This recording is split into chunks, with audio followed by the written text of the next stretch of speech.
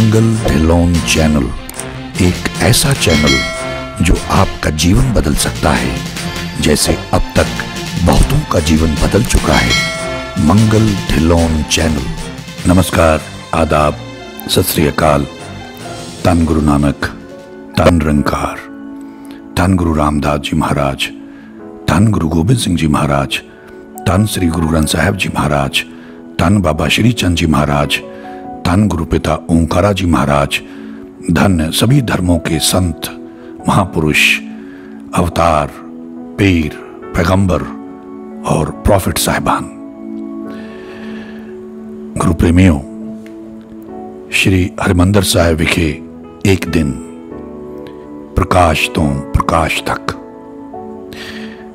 दरबार साहब की 24 घंटे की पावन मर्यादा के बारे में हमारी एक फ़िल्म जो हमने सिलसिला शुरू किया, जो ईश्वर ने सेवा लेनी शुरू की, उस श्रृंखला में वो दूसरी फ़िल्म थी।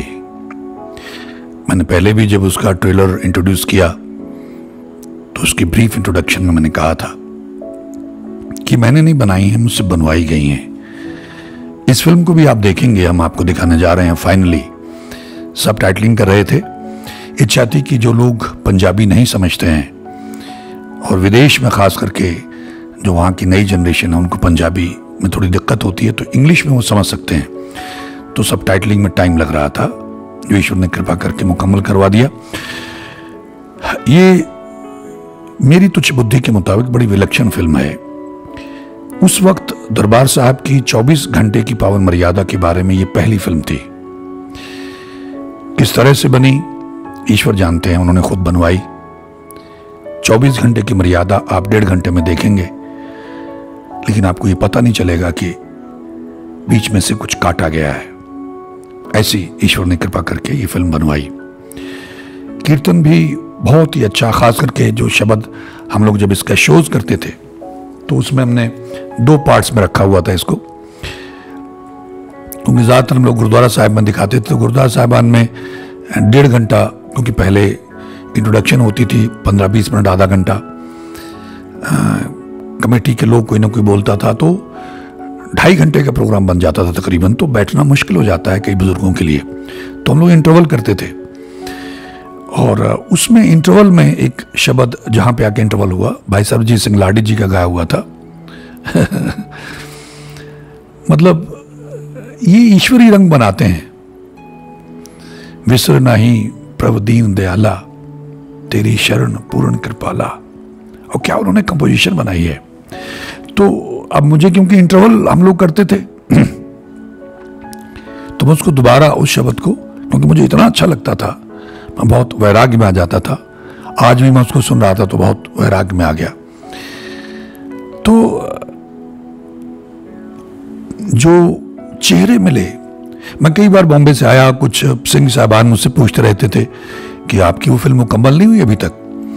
तो मैंने कहा, मैं कुछ चेहरे ढूंढ रहा हूँ कुछ ऐसे चेहरे जैसे लोग वहाँ आते हैं, कोई धन्यवाद करने आता है, बहुत सारे लोग मांगने आते हैं, कोई शिकायतें करने आता है। लेकिन वो, जो उनका रिश्ता है बापू से, जिस तन्मयता से वो बात करते हैं, श्री गुरु ग्रंथ साहब जी महाराज से, अकाल पुरुष से, हरि से, नारायण से, अल्लाह वाहिगुरु गॉड से तो मुझे कुछ ऐसे चेहरे जिनको किसी की परवाह नहीं है। वो वहाँ आए हैं, बापू से बात करने। वो बापू से बात करने आए हैं। बापू, बिन बोले सबको जानते हैं। तो वो चेहरे ढूँढने के लिए मैं कई बार आया। सारा सारा दिन मैं बैठा रहता था कैमरा लेके। मतलब ईश्वर ने मुझे सिखा दिया, मैं खुद ही कैमरा ऑपरेट करने लग गया था। तो पीछे की तरफ़, हर की पौड़ी की तरफ़ से बैठता था ग्रंथी सिंह के पीछे, जो सिंह साहब वहाँ बैठते थे, और ढूंढता रहता था लगातार कैमरा लगा के। और मुझे मिले, आप देखेंगे, बहुत ही कमाल के एक्सप्रेशंस तो अब उसके लिए स्पेशली मैं आता था बॉम्बे से, कि ऐसे कुछ चेहरे लाए वो मिसिंग मुझे लगता था कुछ मिसिंग है इसमें। ऐसी भावना वाले लोग आते हैं वहाँ, लेकिन हम उनको कैप्चर नहीं कर पाए।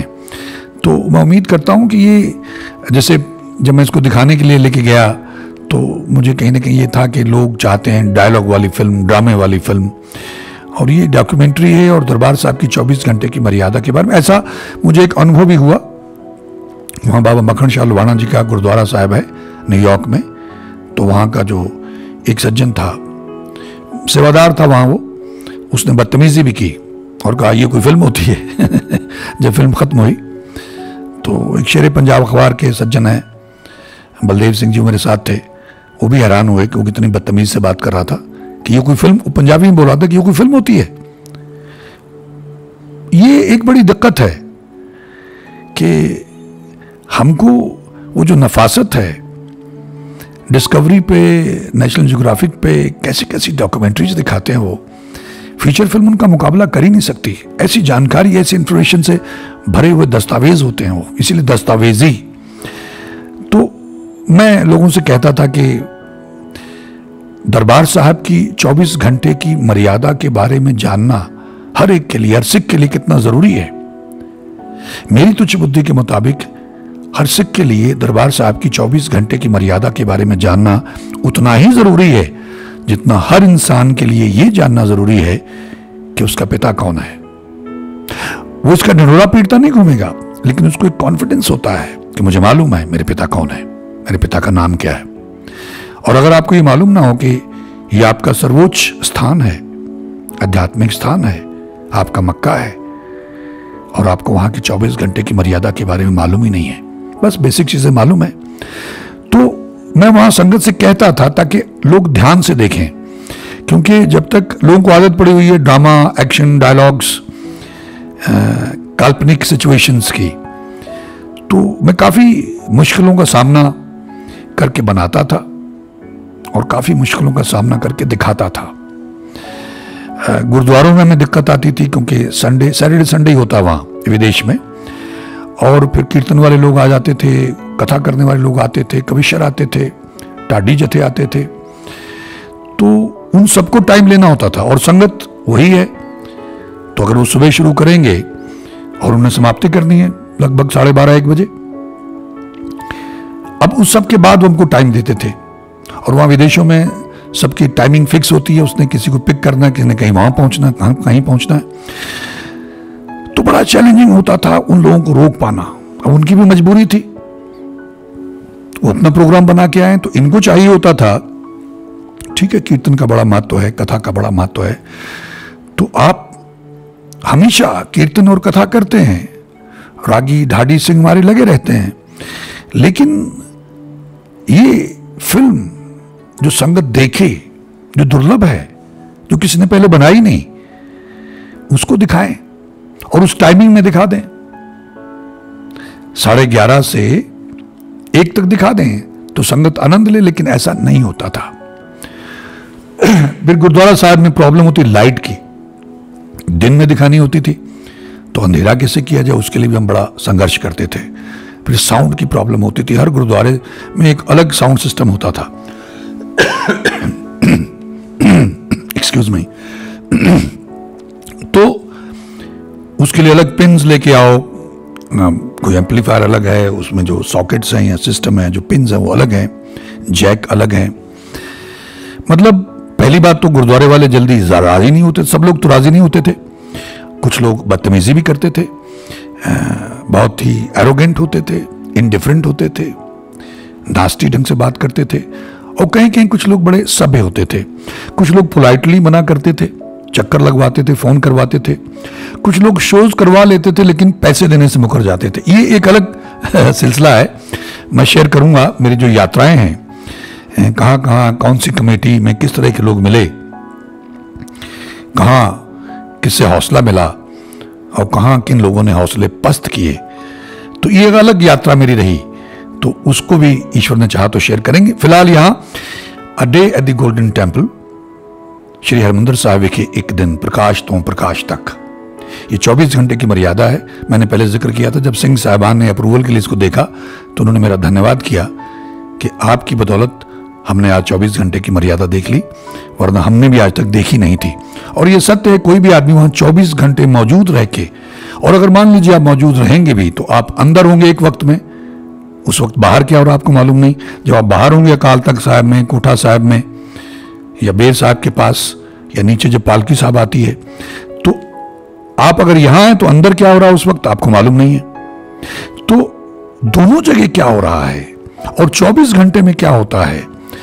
ये सारी जानकारी ईश्वर ने दया करके मुझसे ये पिक्चराइज करवाई, ये फ़िल्म बनवाई और जिन पे कृपा है, उन्होंने बहुत आनंद लिया, बहुत सराहा।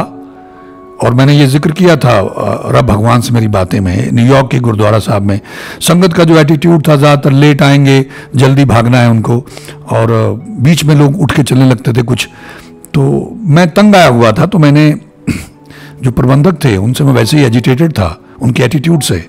तो मैंने अनाउंस कर दिया था कि भाई मैं इसको बहुत बार देख चुका हूँ एडिटिंग करते वक्त देख चुका हूँ शूटिंग करते वक्त देख चुका हूँ और बहुत सारे गुरुद्वारा साहब में दिखाते हुए बहुत बार देख चुका हूँ। अगर तो आपके पास टाइम है आप देखेंगे डेढ़ घंटा तब तो मैं दिखाता हूँ। वरना मैं चलता हूँ। मैं अपमान नहीं करवाऊँगा अपनी विरासत का। आ, मैं इतना एजिटेटेड था और फ्रस्ट्रेटेड था लोगों के एटीट्यूड से और गुरुद्वारा कमेटियों के एटीट्यूड से। सबके नहीं, ज़्यादातर के। कि मुझे लगता था, बंद करूँ, हमारे मित्र बलवंत सिंह जी मुझे कहते रहते थे। वो मेरी मदद करते थे। तो वो कहते थे कि, बंद करिए आप इसको। कोई और फ़िल्म बनाते हैं, जो इन लोगों को पसंद आती है, वैसी फ़िल्में बनाएँगे सिनेमा हॉल में। तो उसी शाम जब फ़िल्म खत्म हुई, लोगों ने कहा, नहीं दिखाइए दिखाइए, हम देखेंगे। तो अभी एंड टाइटल चल रहे थे। और कैसे एक बुज़ुर्ग अमृतधारी गुरसिख थे वो, सफ़ेद दाढ़ी थी उनकी, उन्होंने आके मेरे पाँव पकड़ लिए अंधेरे में और रोने लग गए कि मुझसे वादा करो कि आप ये बंद नहीं करोगे। ये लोग तो मूर्ख हैं, अज्ञानी हमको आपकी ज़रूरत है।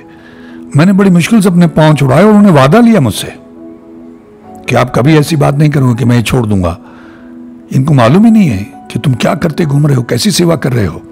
ये तो नासमझ लोग हैं। तो मुझे लगा गुरु का इशारा था।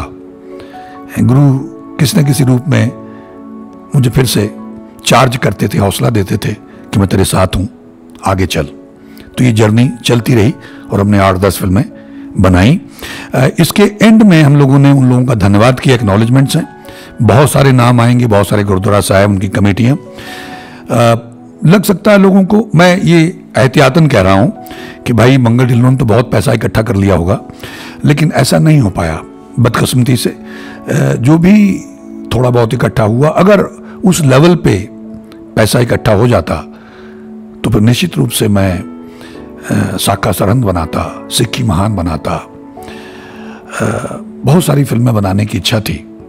सिख इतिहास को लेकर गुरु नानक देव जी के सारे जीवन काल पे बनाता, बाबा बंदा सिंह बहादुर पे बनाता, खालसा को दोबारा से थ्री में बनाता। बड़ी ख्वाहिशें थी। लेकिन ऐसा नहीं हो पाया ईश्वर की मर्ज़ी। तो जो भी फंड रेज हुआ, उसी से मैंने ये आठ दस फ़िल्में बनाई।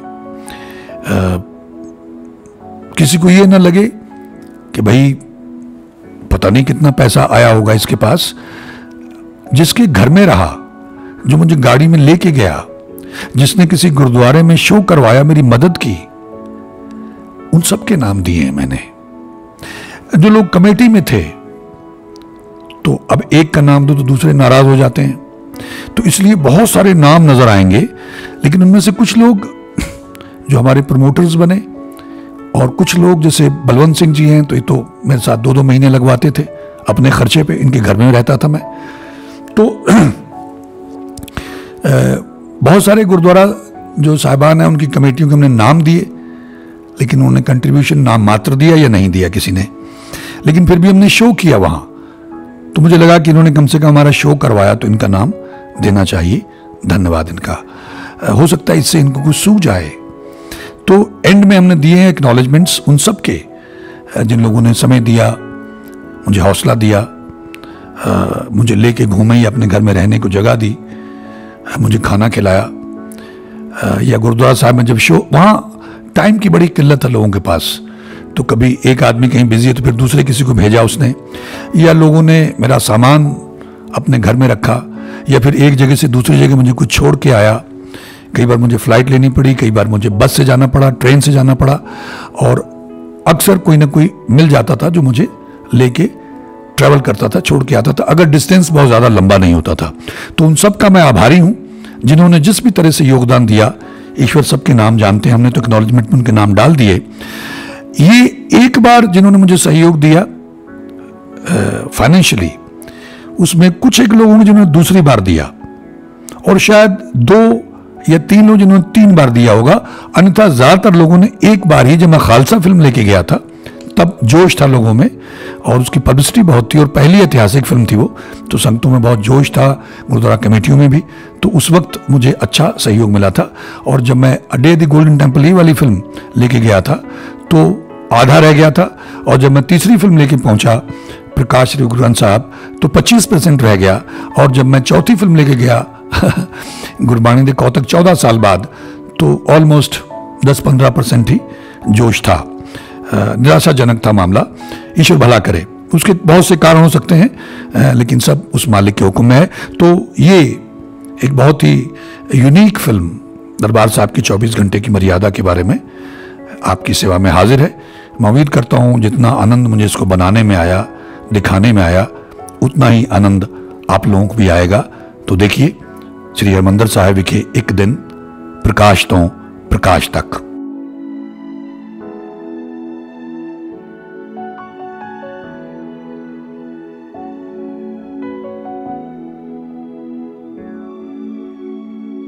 ये दस्तावेजी फ़िल्म ਸ਼੍ਰੀ ਹਰਮੰਦਰ ਸਾਹਿਬ ਵਿਖੇ ਇੱਕ ਦਿਨ ਯੂਕੇ ਅਮਰੀਕਾ ਤੇ ਕੈਨੇਡਾ ਦੀ ਦਿਆਲੂ ਸੰਗਤ ਅਤੇ ਕੁਝ ਗੁਰੂ ਘਰਾਂ ਦੀਆਂ ਸੂਝਵਾਨ ਕਮੇਟੀਆਂ ਵੱਲੋਂ ਮਿਲੀ ਆਰਥਿਕ ਭੇਟਾ ਦੀ ਮਦਦ ਨਾਲ ਬਣਾਈ ਗਈ ਹੈ।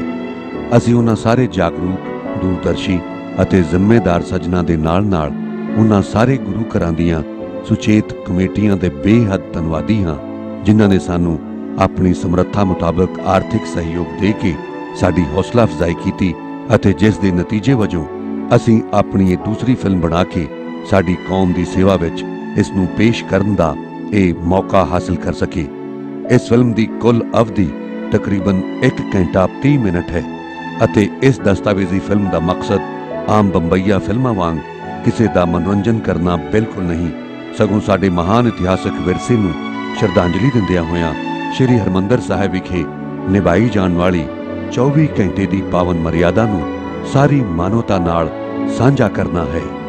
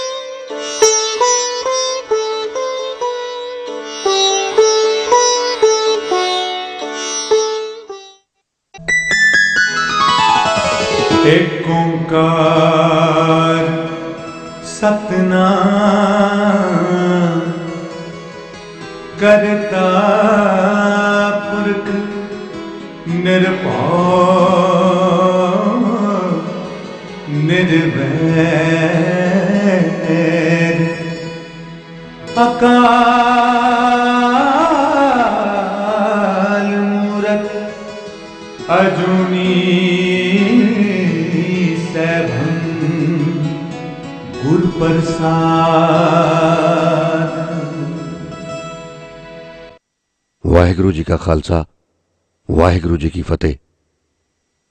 ਸ਼੍ਰੀ ਹਰਮੰਦਰ ਸਾਹਿਬ ਹਰ ਸਿੱਖ ਤੇ ਪੰਜਾਬੀ ਦੀ ਜ਼ਿੰਦਗੀ ਵਿੱਚ ਅਧਿਆਤਮਿਕ ਦ੍ਰਿਸ਼ਟੀਕੋਣ ਤੋਂ ਕਿੰਨਾ ਉੱਚਾ ਤੇ ਅਹਿਮ ਸਥਾਨ ਰੱਖਦੇ ਹਨ, ਇਸ ਸੱਚਾਈ ਬਾਰੇ ਤਾਂ ਤਕਰੀਬਨ ਅਸੀਂ ਸਾਰੇ ਹੀ ਚੰਗੀ ਤਰ੍ਹਾਂ ਜਾਣਦੇ ਹਾਂ।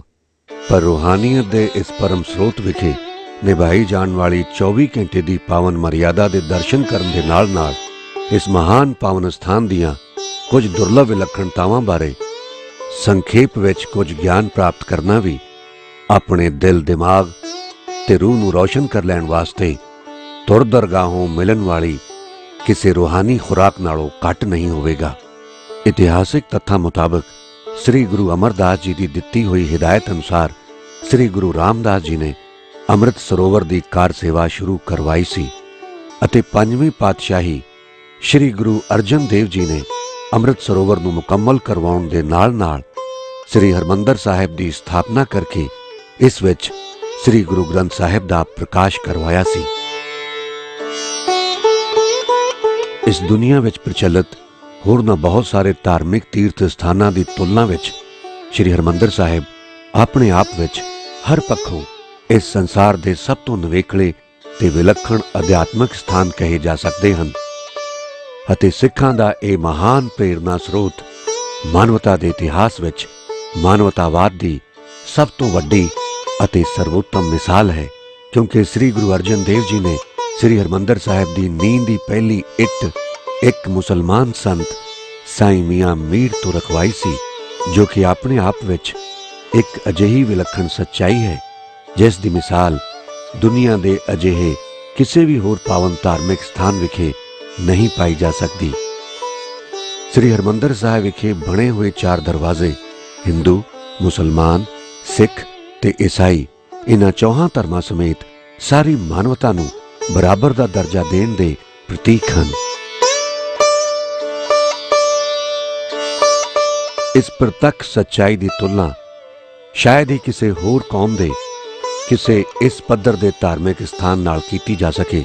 ਇਨਾ ਹੀ ਨਹੀਂ ਗੁਰੂ ਘਰ ਵਿਖੇ ਵਿਨਮਰਤਾ ਨੂੰ ਸਭ ਤੋਂ ਉੱਚਾ ਦਰਜਾ ਦੇਣ ਦੇ ਮਕਸਦ ਨਾਲ ਸ੍ਰੀ ਗੁਰੂ ਅਰਜਨ ਦੇਵ ਜੀ ਨੇ ਸ੍ਰੀ ਹਰਮੰਦਰ ਸਾਹਿਬ ਦਾ ਤਲ ਇਸ ਮਹਾਨ ਪਵਿੱਤਰ ਸਥਾਨ ਦੇ ਆਸ-ਪਾਸ ਦੀ ਆਬਾਦੀ ਵਾਲੇ ਸਥਾਨ ਤੋਂ ਨੀਵਾ ਰੱਖਣ ਲਈ ਇਸ ਨੀਵੇਂ ਸਥਾਨ ਨੂੰ ਹੀ ਚੁਣਿਆ ਸੀ, ਜੋ ਅੱਜ ਵੀ ਸਾਰੀ ਦੁਨੀਆ ਵਾਸਤੇ ਇੱਕ ਪ੍ਰਤੱਖ ਪ੍ਰਮਾਣ ਦੇ ਰੂਪ ਵਿੱਚ ਮੌਜੂਦ ਹੈ। ਵਿਨਮਰਤਾ ਨੂੰ ਇਸ ਤਰ੍ਹਾਂ ਸਰਵੋੱਚ ਸਥਾਨ ਦੇਣ ਦੀ ਅਜਿਹੀ ਨਿਵੇਕਲੀ ਮਿਸਾਲ ਵੀ ਸਾਰੀ ਦੁਨੀਆ ਵਿੱਚ ਕਿਸੇ ਹੋਰ ਅਜਿਹੇ ਧਾਰਮਿਕ ਸਥਾਨ ਵਿਖੇ ਮਿਲਣੀ ਤਕਰੀਬਨ ਨਾਮੁਮਕਿਨ ਹੀ ਹੋਵੇਗੀ।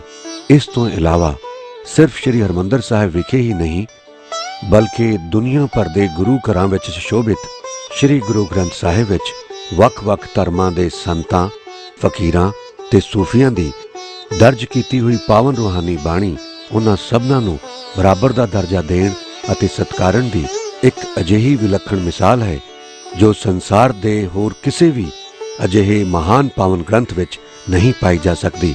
ਇਸ ਦੇ ਨਾਲ-ਨਾਲ ਸ੍ਰੀ ਗੁਰੂ ਗ੍ਰੰਥ ਸਾਹਿਬ ਦੀ ਪਾਵਨ ਬਾਣੀ ਵਿੱਚ ਇਹ ਵੀ ਇੱਕ ਬਹੁਤ ਵੱਡੀ ਵਿਲੱਖਣਤਾ ਹੈ ਕਿ ਸਾਰੀ ਬਾਣੀ ਨਿਯਮਬੱਧ ਰਾਗਾਂ ਵਿੱਚ ਰਚੀ ਗਈ ਹੈ, ਜਿਸ ਦਾ ਮੌਸਮ, ਪਹਿਰ ਤੇ ਸਮੇਂ ਨਾਲ ਮੇਲ ਖਾਂਦੇ ਹੋਏ ਰਾਗ ਵਿੱਚ ਹੀ ਗਾਇਨ ਕੀਤਾ ਜਾਂਦਾ ਹੈ।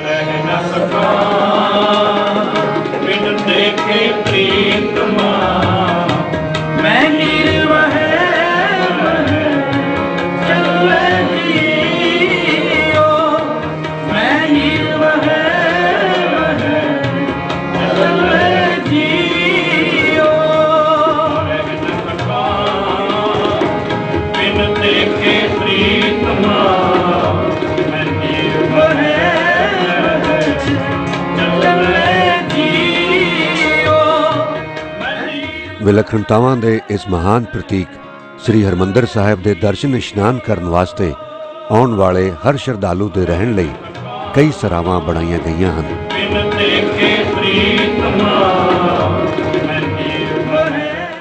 ਅਤੇ ਸਿੱਖੀ ਦੇ ਮੁੱਢਲੇ ਸਿਧਾਂਤਾਂ ਅਨੁਸਾਰ ਕਿਸੇ ਦੇ ਧਰਮ, ਜ਼ਾਤ, ਵਰਣ ਜਾਂ ਰੰਗ ਬਾਰੇ ਕਿਸੇ ਵੀ ਤਰ੍ਹਾਂ ਦਾ ਵਿਤਕਰਾ ਕੀਤੇ ਬਗੈਰ ਸਭ ਨੂੰ ਸਮਾਨ ਸਮਝ ਕੇ ਲਗਾਤਾਰ 24 ਘੰਟੇ ਗੁਰੂ ਦਾ ਲੰਗਰ ਛਕਾਇਆ ਜਾਂਦਾ ਹੈ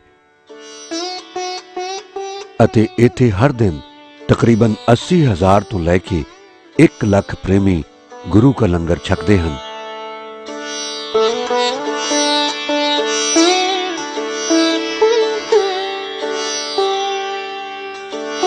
ਲੰਗਰ ਦੀ ਮਰਿਆਦਾ ਅਨੁਸਾਰ ਸੰਗਤ ਨਾਲ ਪੰਗਤ ਵਿੱਚ ਬੈਠ ਕੇ ਲੰਗਰ ਛਕਣ ਵਾਲਾ ਹਰ ਪ੍ਰਾਣੀ ਊਚ ਨੀਚ ਜ਼ਾਤ ਪਾਤ ਤੇ ਛੂਆ ਛੂਤ ਦੇ ਹਰ ਭੇਦ ਭਾਵ ਤੋਂ ਮੁਕਤ ਹੋ ਕੇ ਇੱਕ ਦੂਜੇ ਦੇ ਸਮਾਨ ਹੋ ਜਾਂਦਾ ਹੈ।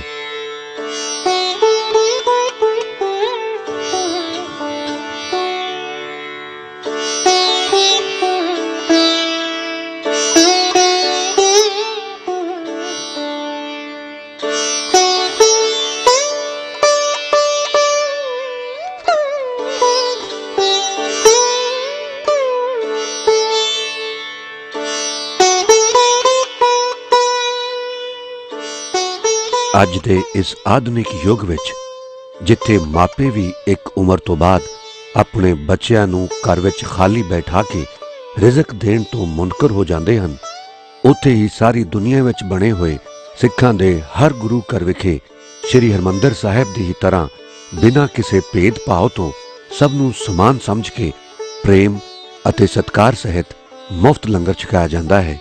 ਇਸ ਸੰਸਾਰ ਵਿੱਚ ਅਜਿਹੀ ਵਿਲੱਖਣ ਵਿਸ਼ੇਸ਼ਤਾ ਵੀ ਸ਼ਾਇਦ ਹੀ ਕਿਸੇ ਹੋਰ ਕੌਮ ਦੇ ਅਜਿਹੇ ਮਹਾਨ ਪਾਵਨ ਧਾਰਮਿਕ ਸਥਾਨ ਵਿਖੇ ਪਾਈ ਜਾ ਸਕੇ, ਜਿੱਥੇ ਇਸ ਤਰ੍ਹਾਂ ਲਗਾਤਾਰ 24 ਘੰਟੇ ਲੰਗਰ ਪਕਾਇਆ ਤੇ ਛਕਾਇਆ ਜਾਂਦਾ ਹੋਵੇ।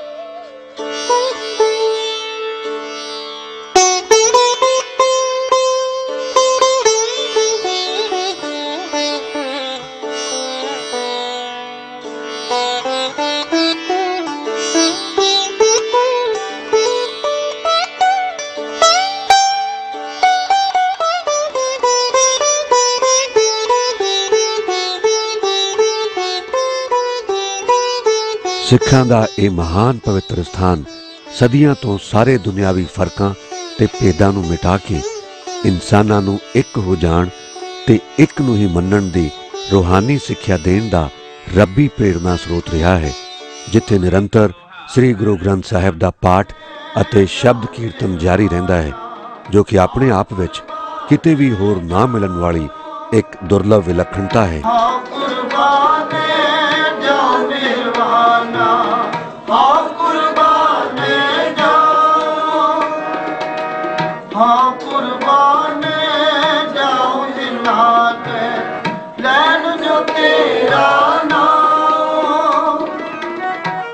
ਯਕੀਨਨ ਹਰ ਗੁਰਸਿੱਖ ਅਤੇ ਗੁਰੂ ਘਰ ਦੇ ਸ਼ਰਧਾਲੂ ਦੇ ਮਨ ਵਿੱਚ ਆਪਣੇ ਇਸ ਵਿਲੱਖਣਤਾਵਾਂ ਭਰੇ ਮਹਾਨ ਪਾਵਨ ਸਥਾਨ ਵਿਖੇ ਹਰ ਦਿਨ ਨਿਭਾਈ ਜਾਣ ਵਾਲੀ 24 ਘੰਟੇ ਦੀ ਪਾਵਨ ਮਰਿਆਦਾ ਬਾਰੇ ਵਿਸਥਾਰ ਨਾਲ ਜਾਣਨ ਦੀ ਇੱਛਾ ਤਾਂ ਜ਼ਰੂਰ ਪੈਦਾ ਹੁੰਦੀ ਹੋਵੇਗੀ, ਕਿਉਂਕਿ ਸ੍ਰੀ ਹਰਮੰਦਰ ਸਾਹਿਬ ਵਿਖੇ ਹਰ ਦਿਨ ਨਿਭਾਈ ਜਾਣ ਵਾਲੀ ਸੰਪੂਰਨ ਮਰਿਆਦਾ ਦੇ ਦਰਸ਼ਨ ਕਰਨ ਦਾ ਸੁਭਾਗ ਤਾਂ ਸ਼ਾਇਦ ਕੁਝ ਇੱਕ ਵਿਰਲਿਆਂ ਤੇ ਵਡਭਾਗਿਆਂ ਨੂੰ ਹੀ ਨਸੀਬ ਹੋਇਆ ਹੋਵੇਗਾ, ਜਿਨ੍ਹਾਂ ਨੇ ਆਪ ਲਗਾਤਾਰ 24 ਘੰਟੇ ਦਰਬਾਰ ਸਾਹਿਬ ਵਿਖੇ ਹਾਜ਼ਰੀ ਭਰ ਕੇ ਆਪਣਾ ਜੀਵਨ ਸਾਰਥਕ ਬਣਾਉਣ ਲਈ ਵਾਹਿਗੁਰੂ ਦੀ ਬਖਸ਼ਿਸ਼ ਪ੍ਰਾਪਤ ਕੀਤੀ ਹੋਵੇਗੀ।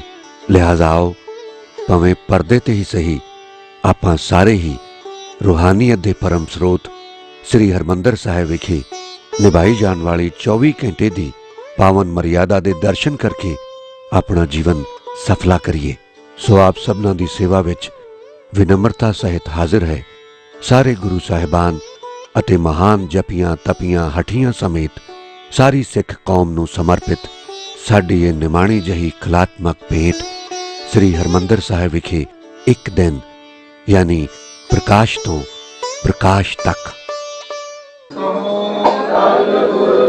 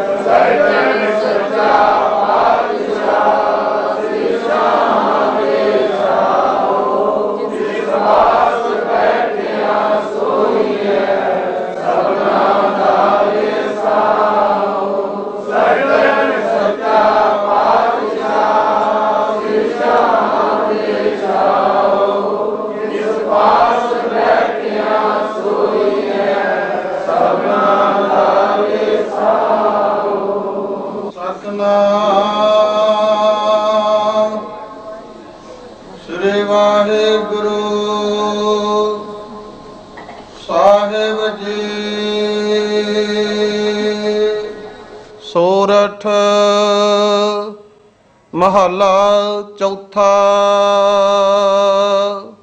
ਆਪੇ ਸੇਵਾ ਲਾਏ ਦਾ ਪਿਆਰਾ। ਆਪੇ ਭਗਤ ਉਮਾਹਾ। ਆਪੇ ਗੁਣ ਗਾਵਾਇਦਾ ਪਿਆਰਾ।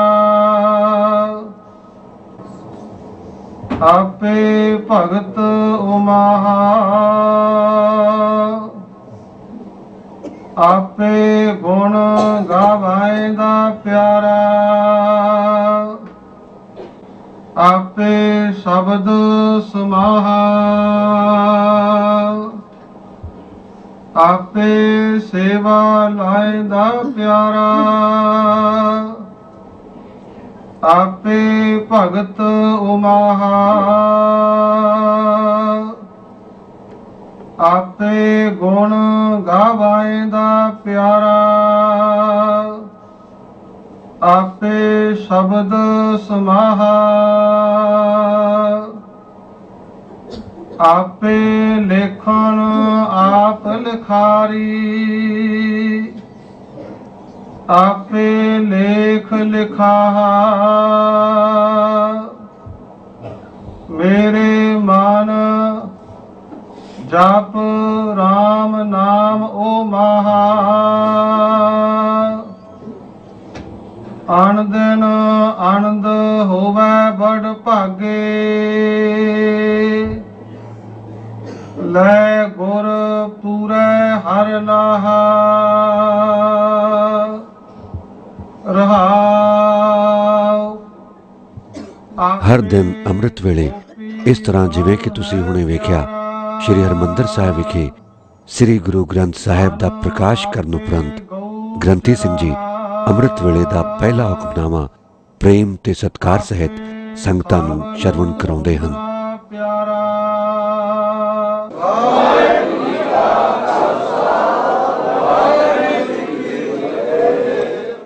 ਹਰ ਦਿਨ ਅੰਮ੍ਰਿਤ ਵੇਲੇ ਦੇ ਇਸ ਹੁਕਮਨਾਮੇ ਉਪਰੰਤ ਮਰਿਆਦਾ ਅਨੁਸਾਰ ਇਸ ਤਰ੍ਹਾਂ ਰੁਮਾਲਿਆਂ ਚਾਦਰਾਂ ਅਤੇ ਫੁੱਲਾਂ ਨਾਲ ਸਜਾਵਟ ਦੀ ਸੇਵਾ ਕੀਤੀ ਜਾਂਦੀ ਹੈ ਅਤੇ ਇਸ ਦੌਰਾਨ ਪਹਿਲਾਂ ਤੋਂ ਹੋ ਰਿਹਾ ਆਸਾ ਜੀ ਦੀ ਵਾਰ ਦਾ ਕੀਰਤਨ ਜਾਰੀ ਰਹਿੰਦਾ ਹੈ।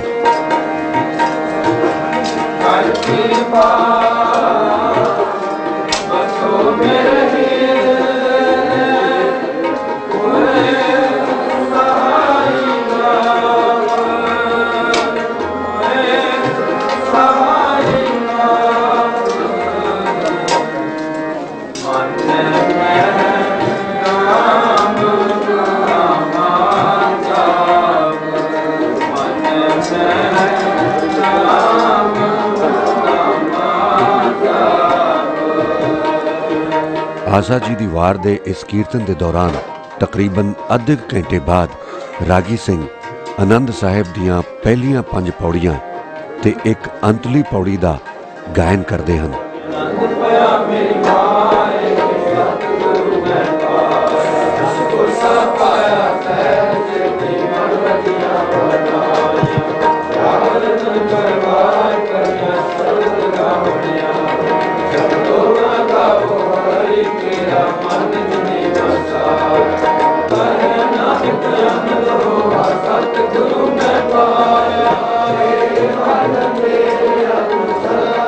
ਅਤੇ ਇਸ ਉਪਰੰਤ ਅਰਦਾਸੀਆ ਸਿੰਘ ਅਰਦਾਸ ਕਰਦਾ ਹੈ। ਵਾਹਿਗੁਰੂ ਜੀ ਕੀ ਫਤਿਹ, ਸ੍ਰੀ ਭਗਵਤੀ ਜੀ ਸਹਾਇ।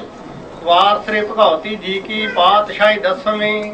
ਪ੍ਰਥਮ ਭਗਵਤੀ ਸਿਮਰ ਕਾ ਗੁਰੂ ਨਾਨਕ ਲਈ ਧਿਆਏ।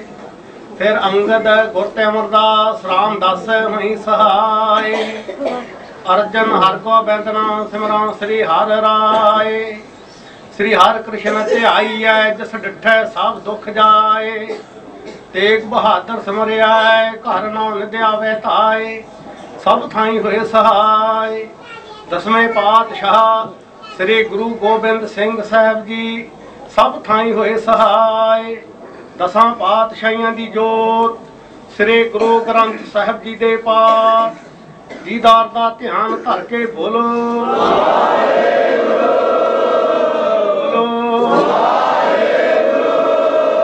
ਅਰਦਾਸ ਉਪਰੰਤ ਆਸਾ ਜੀ ਦੀ ਵਾਰ ਦਾ ਕੀਰਤਨ ਜਾਰੀ ਰਹਿੰਦਾ ਹੈ ਅਤੇ ਇਸ ਦੌਰਾਨ ਸੰਗਤ ਵਿੱਚ ਕੜਾਹ ਪ੍ਰਸ਼ਾਦ ਵਰਤਾਇਆ ਜਾਂਦਾ ਹੈ।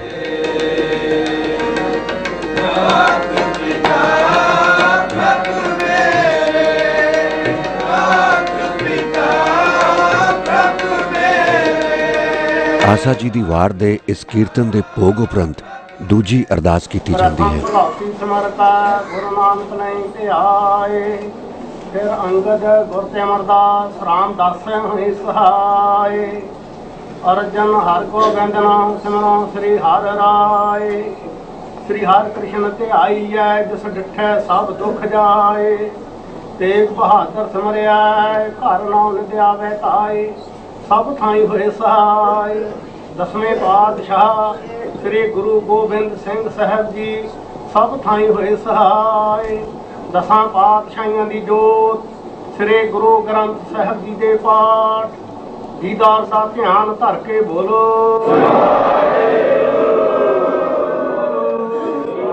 ਇਸ ਅਰਦਾਸ ਤੋਂ ਬਾਅਦ ਦੂਜੀ ਵਾਰ ਹੁਕਮਨਾਮਾ ਸ਼ਰਵਣ ਕਰਵਾਉਣ ਤੋਂ ਪਹਿਲਾਂ ਤਾਬਿਆ ਵਿੱਚ ਬੈਠੇ ਹੋਏ ਗ੍ਰੰਥੀ ਸਿੰਘ ਜੀ ਇਸ ਤਰ੍ਹਾਂ ਮਰਿਆਦਾ ਅਨੁਸਾਰ ਪਾਠ ਕਰਦੇ ਹਨ। ਕਾਮਯ ਪਰਾਤੇ ਸਦ ਧੂਏ ਉੱਤੇ ਇਸ ਪਾਠ ਉਪਰੰਤ ਗ੍ਰੰਥੀ ਸਿੰਘ ਸਮੇਤ ਸਾਰੀ ਸੰਗਤ ਇਸ ਤਰ੍ਹਾਂ ਪ੍ਰੇਮ ਤੇ ਸ਼ਰਧਾ ਨਾਲ ਮਰਿਆਦਾ ਅਨੁਸਾਰ ਸ਼ਬਦ ਗਾਇਨ ਕਰਦੀ ਹੈ ਅਤੇ ਇਹਨਾਂ ਸ਼ਬਦਾਂ ਉਪਰੰਤ ਗ੍ਰੰਥੀ ਸਿੰਘ ਸਾਹਿਬ ਦੂਜੀ ਵਾਰ ਹੁਕਮਨਾਮਾ ਸ਼ਰਵਣ ਕਰਵਾਉਂਦੇ ਹਨ। ਸ੍ਰੀ ਵਾਹਿਗੁਰੂ ਸਾਹਿਬ ਜੀ ਸੋਰਠ। ਮਹਲਾ ਚੌਥਾ। ਆਪੇ ਸੇਵਾ ਲਾਇਦਾ ਪਿਆਰਾ। ਆਪੇ ਭਗਤ ਉਮਾਹਾ। ਆਪੇ ਗੁਣ ਗਾਵਾਏ ਦਾ ਪਿਆਰਾ। ਆਪੇ ਭਗਤ ਉਮਾਹਾ। ਆਪੇ ਗੁਣ ਗਾਵਾਇਦਾ ਪਿਆਰਾ। ਆਪੇ ਸ਼ਬਦ ਸਮਾਹਾ।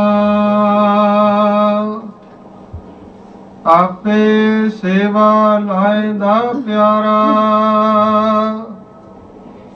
ਆਪੇ ਭਗਤ ਉਮਾਹਾ। ਆਪੇ ਗੁਣ ਗਾਵਾਇਦਾ ਪਿਆਰਾ। ਆਪੇ ਸ਼ਬਦ ਸਮਾਹਾ। ਆਪੇ ਲੇਖਣ ਆਪ ਲਿਖਾਰੀ। ਆਪੇ ਲੇਖ ਲਿਖਾਹਾ। ਮੇਰੇ ਮਨ ਜਪ RAM ਨਾਮ ਓ ਮਹਾ। ਅਣ ਆਨੰਦ ਹੋਵੇ ਬੜ ਭਾਗੇ। ਲੈ ਗੁਰ ਪੂਰੇ ਹਰ ਲਾਹਾ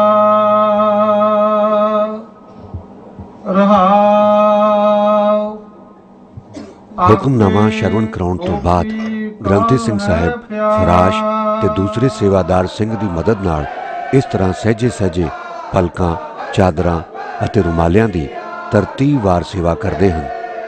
ਜਿਸ ਦੌਰਾਨ ਸੰਗਤ ਪ੍ਰੇਮ, ਸ਼ਰਧਾ ਤੇ ਸਤਕਾਰ ਨਾਲ ਇਸ ਤਰ੍ਹਾਂ ਸ਼ਬਦ ਗਾਇਨ ਕਰਦੀ ਹੈ।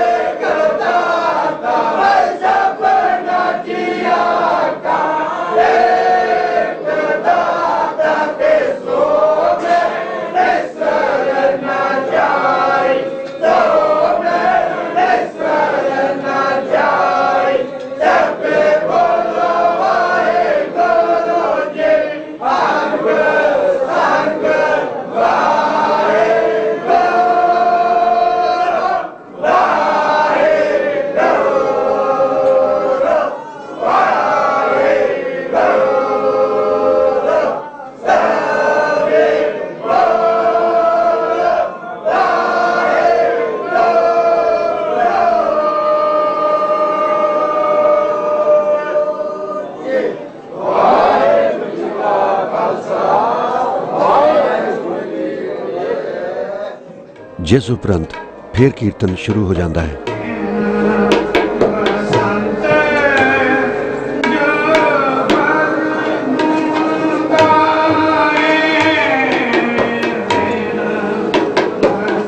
ਇਹ ਕੀਰਤਨ ਦਿਨ ਦੇ 12 ਵਜੇ ਤੱਕ ਜਾਰੀ ਰਹਿੰਦਾ ਹੈ।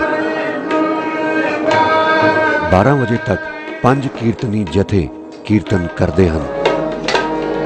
ਜਿਨ ਸੋਣ ਮਨ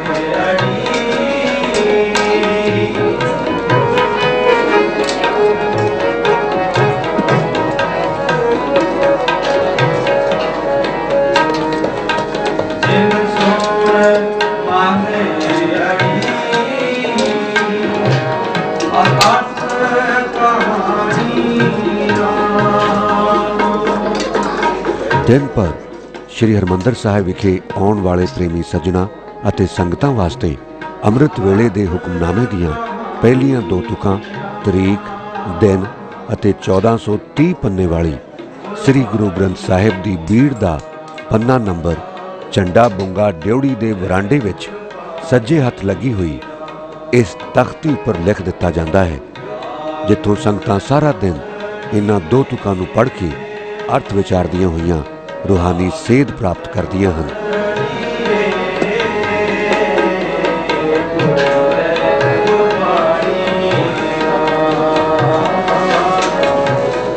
ਹਰ ਦਿਨ ਅੰਮ੍ਰਿਤ ਵੇਲੇ ਤੋਂ ਲੈ ਕੇ ਸਮਾਪਤੀ ਤੱਕ ਸ਼ਰਧਾਲੂ ਸੰਗਤਾਂ ਦੀ ਆਮਦ ਜਾਰੀ ਰਹਿੰਦੀ ਹੈ। ਅਤੇ ਸਾਰੀਆਂ ਸੰਗਤਾਂ ਸ੍ਰੀ ਹਰਮੰਦਰ ਸਾਹਿਬ ਦੇ ਦਰਸ਼ਨ ਇਸ਼ਨਾਨ ਕਰਨ ਦੇ ਨਾਲ-ਨਾਲ ਰੂਹਾਨੀ ਕੀਰਤਨ ਸ਼ਰਵਣ ਕਰਦੀਆਂ ਹੋਈਆਂ ਦਰਬਾਰ ਸਾਹਿਬ ਅਤੇ ਪਵਿੱਤਰ ਸਰੋਵਰ ਦੀ ਪਰਿਕਰਮਾ ਕਰਕੇ ਆਤਮਿਕ ਸ਼ਾਂਤੀ ਪ੍ਰਾਪਤ ਕਰਦੀਆਂ ਹਨ। ਸ੍ਰੀ ਹਰਮੰਦਰ ਸਾਹਿਬ ਦੇ ਬਾਹਰਵਾਰ ਚੌਫੇਰੇ 13 ਫੁੱਟ ਚੌੜਾ ਅਤੇ 66 ਫੁੱਟ ਲੰਮਾ ਸੰਗਮਰਮਰ ਦਾ ਫਰਸ਼ ਲੱਗਿਆ ਹੋਇਆ ਹੈ ਅਤੇ ਇਸ ਨੂੰ ਛੋਟੀ ਪਰਿਕਰਮਾ ਕਹਿੰਦੇ ਹਨ। ਸ੍ਰੀ ਹਰਮੰਦਰ ਸਾਹਿਬ ਦੇ ਪਿਛਲੇ ਪਾਸੇ ਬਿਲਕੁਲ ਨਾਲ ਲੱਗਦੇ ਇਸ ਸਥਾਨ ਨੂੰ ਹਰ ਕੀ ਪੌੜੀ ਕਿਹਾ ਜਾਂਦਾ ਹੈ। ਸੰਗਤਾਂ ਇਸ ਪਾਵਨ ਸਥਾਨ ਤੋਂ ਸਤਕਾਰ ਸਹਿਤ ਬੜੀ ਸ਼ਰਧਾ ਨਾਲ ਅੰਮ੍ਰਿਤ ਜਲ ਦਾ ਚੂੜਾ ਛਕ ਕੇ ਅੰਦਰੂਨੀ ਸ਼ੁੱਧੀ ਪ੍ਰਾਪਤ ਕਰਦੀਆਂ ਹਨ ਇਸ ਸਥਾਨ ਤੋਂ ਕਿਸੇ ਵੀ ਜ਼ਾਤ, ਧਰਮ, ਰੰਗ, ਵਰਣ ਅਤੇ ਨਸਲ ਦਾ ਇਨਸਾਨ ਬਿਨਾਂ ਕਿਸੇ ਤਰ੍ਹਾਂ ਦੀ ਰੋਕ ਟੋਕ ਦੇ ਅੰਮ੍ਰਿਤ ਜਲ ਦਾ ਚੂੜਾ ਲੈ ਸਕਦਾ ਹੈ। ਕਿਉਂਕਿ ਗੁਰੂ ਘਰ ਦੀ ਮਰਿਆਦਾ ਅਨੁਸਾਰ ਹਰੀ ਦੇ ਇਸ ਮੰਦਰ ਤੇ ਹਰੀ ਕੀ ਇਸ ਪੌੜੀ ਤੱਕ ਆਉਣ ਵਾਲਾ ਹਰ ਪ੍ਰਾਣੀ ਇੱਕ ਦੂਜੇ ਦੇ ਸਮਾਨ ਹੈ, ਬਰਾਬਰ ਹੈ। ਹਰ ਕੀ ਪੌੜੀ ਦੇ ਬਿਲਕੁਲ ਉੱਪਰਲੇ ਪਾਸੇ ਇਸ ਪਹਿਲੀ ਮੰਜ਼ਲ ਉੱਪਰ ਬਣੇ ਹੋਏ ਇਸ ਬੁਖਾਰਚੇ ਵਿੱਚ ਸ੍ਰੀ ਗੁਰੂ ਗ੍ਰੰਥ ਸਾਹਿਬ ਦੀ ਹੱਥ ਲਿਖਿਤ ਇਸ ਵੱਡੇ ਆਕਾਰ ਵਾਲੀ ਬੀੜ ਦਾ ਪ੍ਰਕਾਸ਼ ਹੈ ਅਤੇ ਇੱਥੇ ਲਗਾਤਾਰ ਅਖੰਡ ਪਾਠਾਂ ਦੀ ਲੜੀ ਚੱਲਦੀ ਰਹਿੰਦੀ ਹੈ।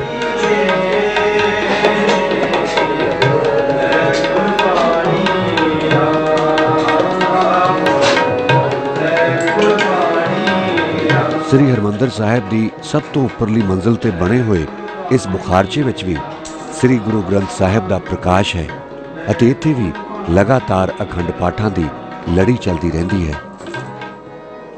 ਸ੍ਰੀ ਹਰਮੰਦਰ ਸਾਹਿਬ ਦੇ ਦਰਸ਼ਨਾਂ ਵਾਸਤੇ ਆਉਣ ਲਈ ਸਰੋਵਰ ਉੱਪਰ ਬਣਿਆ ਹੋਇਆ ਇਹ ਪੁਲ ਦਰਸ਼ਨੀ ਡੂੜੀ ਤੋਂ ਲੈ ਕੇ ਛੋਟੀ ਪਰਿਕਰਮਾ ਤੱਕ ਮਹਾਨ ਕੋਸ਼ ਅਨੁਸਾਰ 240 ਫੁੱਟ ਲੰਮਾ ਅਤੇ 21 ਫੁੱਟ ਚੌੜਾ ਹੈ। ਇਸ ਪੁਲ ਨੂੰ ਜੰਗਲਿਆਂ ਰਾਹੀਂ ਤਿੰਨ ਹਿੱਸਿਆਂ ਵਿੱਚ ਵੰਡਿਆ ਗਿਆ ਹੈ ਤਾਂ ਕਿ ਸ਼ਰਧਾਲੂਆਂ ਦੀ ਜ਼ਿਆਦਾ ਭੀੜ ਹੋ ਜਾਣ ਤੇ ਸੰਗਤਾਂ ਤੇ ਸੇਵਾਦਾਰਾਂ ਨੂੰ ਆਉਣ ਜਾਣ ਵਿੱਚ ਕਿਸੇ ਵੀ ਤਰ੍ਹਾਂ ਦੀ ਕੋਈ ਪਰੇਸ਼ਾਨੀ ਨਾ ਹੋਵੇ। ਇਸ ਦੋ ਮੰਜ਼ਲੀ ਇਮਾਰਤ ਦੇ ਵਿਚਕਾਰ ਇਹ ਦਰਸ਼ਨੀ ਡਿਊੜੀ ਹੈ, ਜਿਸ ਦੇ ਰਾਹੀਂ ਸ੍ਰੀ ਹਰਮੰਦਰ ਸਾਹਿਬ ਦੇ ਦਰਸ਼ਨਾਂ ਲਈ ਸੰਗਤਾਂ ਪੁਲ ਉੱਪਰ ਦੀ ਅੰਦਰ ਆਉਂਦੀਆਂ ਜਾਂਦੀਆਂ ਹਨ।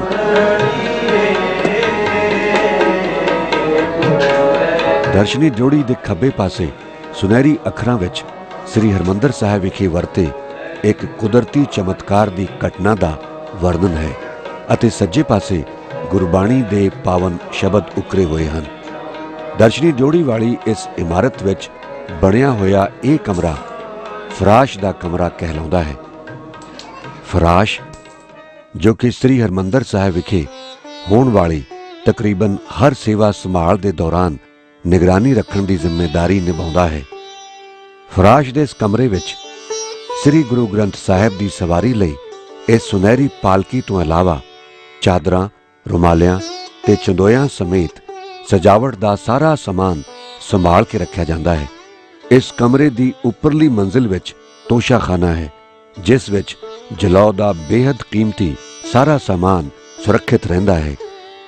ਦਰਸ਼ਨੀ ਜੋੜੀ ਦੀ ਇਸ ਇਮਾਰਤ ਦੇ ਨਾਲ ਹੀ ਇਹ ਇੱਕ ਬੇਰੀ ਦਾ ਦਰਖਤ ਹੈ, ਜਿਸ ਨੂੰ ਇਲਾਇਚੀ ਵਰਗੇ ਬੇਰ ਲੱਗਣ ਕਾਰਨ ਸ੍ਰੀ ਗੁਰੂ ਅਰਜਨ ਦੇਵ ਜੀ ਨੇ ਇਸ ਦਾ ਨਾਮ ਲਾਚੀ ਬੇਰ ਰੱਖ ਦਿੱਤਾ ਸੀ। ਇਸ ਬੇਰੀ ਹੇਠ ਬੈਠ ਕੇ ਸ੍ਰੀ ਗੁਰੂ ਅਰਜਨ ਦੇਵ ਜੀ ਸਰੋਵਰ ਦੀ ਕਾਰ ਸੇਵਾ ਕਰਵਾਇਆ ਕਰਦੇ ਸਨ। ਗੁਰੂ ਜੀ ਦੇ ਪਰਮ ਸੇਵਕ ਭਾਈ ਸਾਲੋ ਜੀ ਵੀ ਇਸ ਬੇਰੀ ਹੇਠ ਬੈਠ ਕੇ ਕਾਰ ਸੇਵਾ ਦੀ ਨਿਗਰਾਨੀ ਕਰਿਆ ਕਰਦੇ ਸਨ। ਇਸੇ ਬੇਰੀ ਨਾਲ ਆਪਣੇ ਘੋੜੇ ਬੰਨ ਕੇ ਭਾਈ ਮਹਿਤਾਬ ਸਿੰਘ ਤੇ ਭਾਈ ਸੁੱਖਾ ਸਿੰਘ ਜੀ ਨੇ ਮੱਸੇ ਰੰਗੜ ਦਾ ਸਿਰ ਵੱਢਿਆ ਸੀ, ਜੋ ਕਿ ਹਰਮੰਦਰ ਸਾਹਿਬ ਦਾ ਘੋਰ ਅਪਮਾਨ ਕਰਦਾ ਹੋਇਆ ਦਰਬਾਰ ਸਾਹਿਬ ਵਿਖੇ ਸ਼ਰਾਬ ਨੋਸ਼ੀ ਕਰਕੇ ਪੇਸ਼ੇਵਰ ਔਰਤਾਂ ਤੋਂ ਨਾਚ ਨਚਵਾ ਰਿਹਾ ਸੀ। ਇਸ ਲਾਚੀ ਬੇਰ ਦੇ ਨਾਲ ਲੱਗਦੇ ਇਸ ਗੁੰਬਦ ਵਾਲੇ ਛੋਟੇ ਗੁਰਦੁਆਰੇ ਵਿੱਚ ਹੁਣ ਅਖੰਡ ਪਾਠਾਂ ਦੀ ਲੜੀ ਚੱਲਦੀ ਰਹਿੰਦੀ ਹੈ।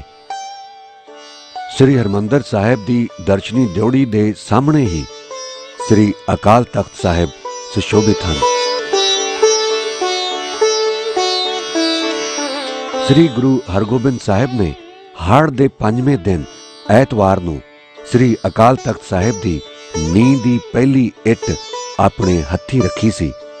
ਗੁਰੂ ਸਾਹਿਬ ਦੇ ਕਰ ਕਮਲਾਂ ਨਾਲ ਰੱਖੀ ਗਈ ਨੀਂਹ ਦੀ ਪਹਿਲੀ ਇੱਟ ਤੋਂ ਬਾਅਦ ਕਿਸੇ ਰਾਜ ਨੇ ਨਹੀਂ, ਸਗੋਂ ਬਾਬਾ ਬੁੱਢਾ ਜੀ ਤੇ ਭਾਈ ਗੁਰਦਾਸ ਜੀ ਹੁਣਾਂ ਨੇ ਹੀ ਸ੍ਰੀ ਅਕਾਲ ਤਖਤ ਸਾਹਿਬ ਦੇ ਪੱਕੇ ਥੜੇ ਨੂੰ ਆਪ ਆਪਣੇ ਹੱਥੀ ਮੁਕੰਮਲ ਕੀਤਾ ਸੀ।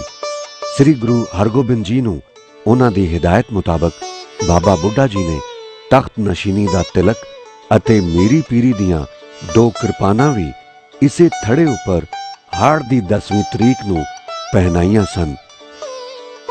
ਗੁਰੂ ਹਰਗੋਬਿੰਦ ਸਾਹਿਬ ਦੇ ਸਮੇਂ ਦਾ ਉਸਾਰਿਆ ਹੋਇਆ ਸ੍ਰੀ ਅਕਾਲ ਤਖਤ ਸਾਹਿਬ ਨਾਮ ਦਾ ਇਹ ਥੜਾ ਅੱਜ ਵੀ ਆਪਣੇ ਪਹਿਲੇ ਰੂਪ ਵਿੱਚ ਕਾਇਮ ਹੈ, ਜੋ ਸਿੱਖ ਕੌਮ ਦਾ ਪਹਿਲਾ ਤਖਤ ਹੈ। ਸ੍ਰੀ ਗੁਰੂ ਹਰਗੋਬਿੰਦ ਸਾਹਿਬ ਇਸ ਸਥਾਨ ਤੇ ਸ਼ਿਸ਼ੋਭਿਤ ਹੋਇਆ ਕਰਦੇ ਸਨ। ਜਿੱਥੇ ਅੱਜਕੱਲ ਇਸ ਸੁਨਹਿਰੀ ਬੰਗਲੇ ਵਿੱਚ ਸ਼ਸਤਰ ਸਜਾਏ ਜਾਂਦੇ ਹਨ।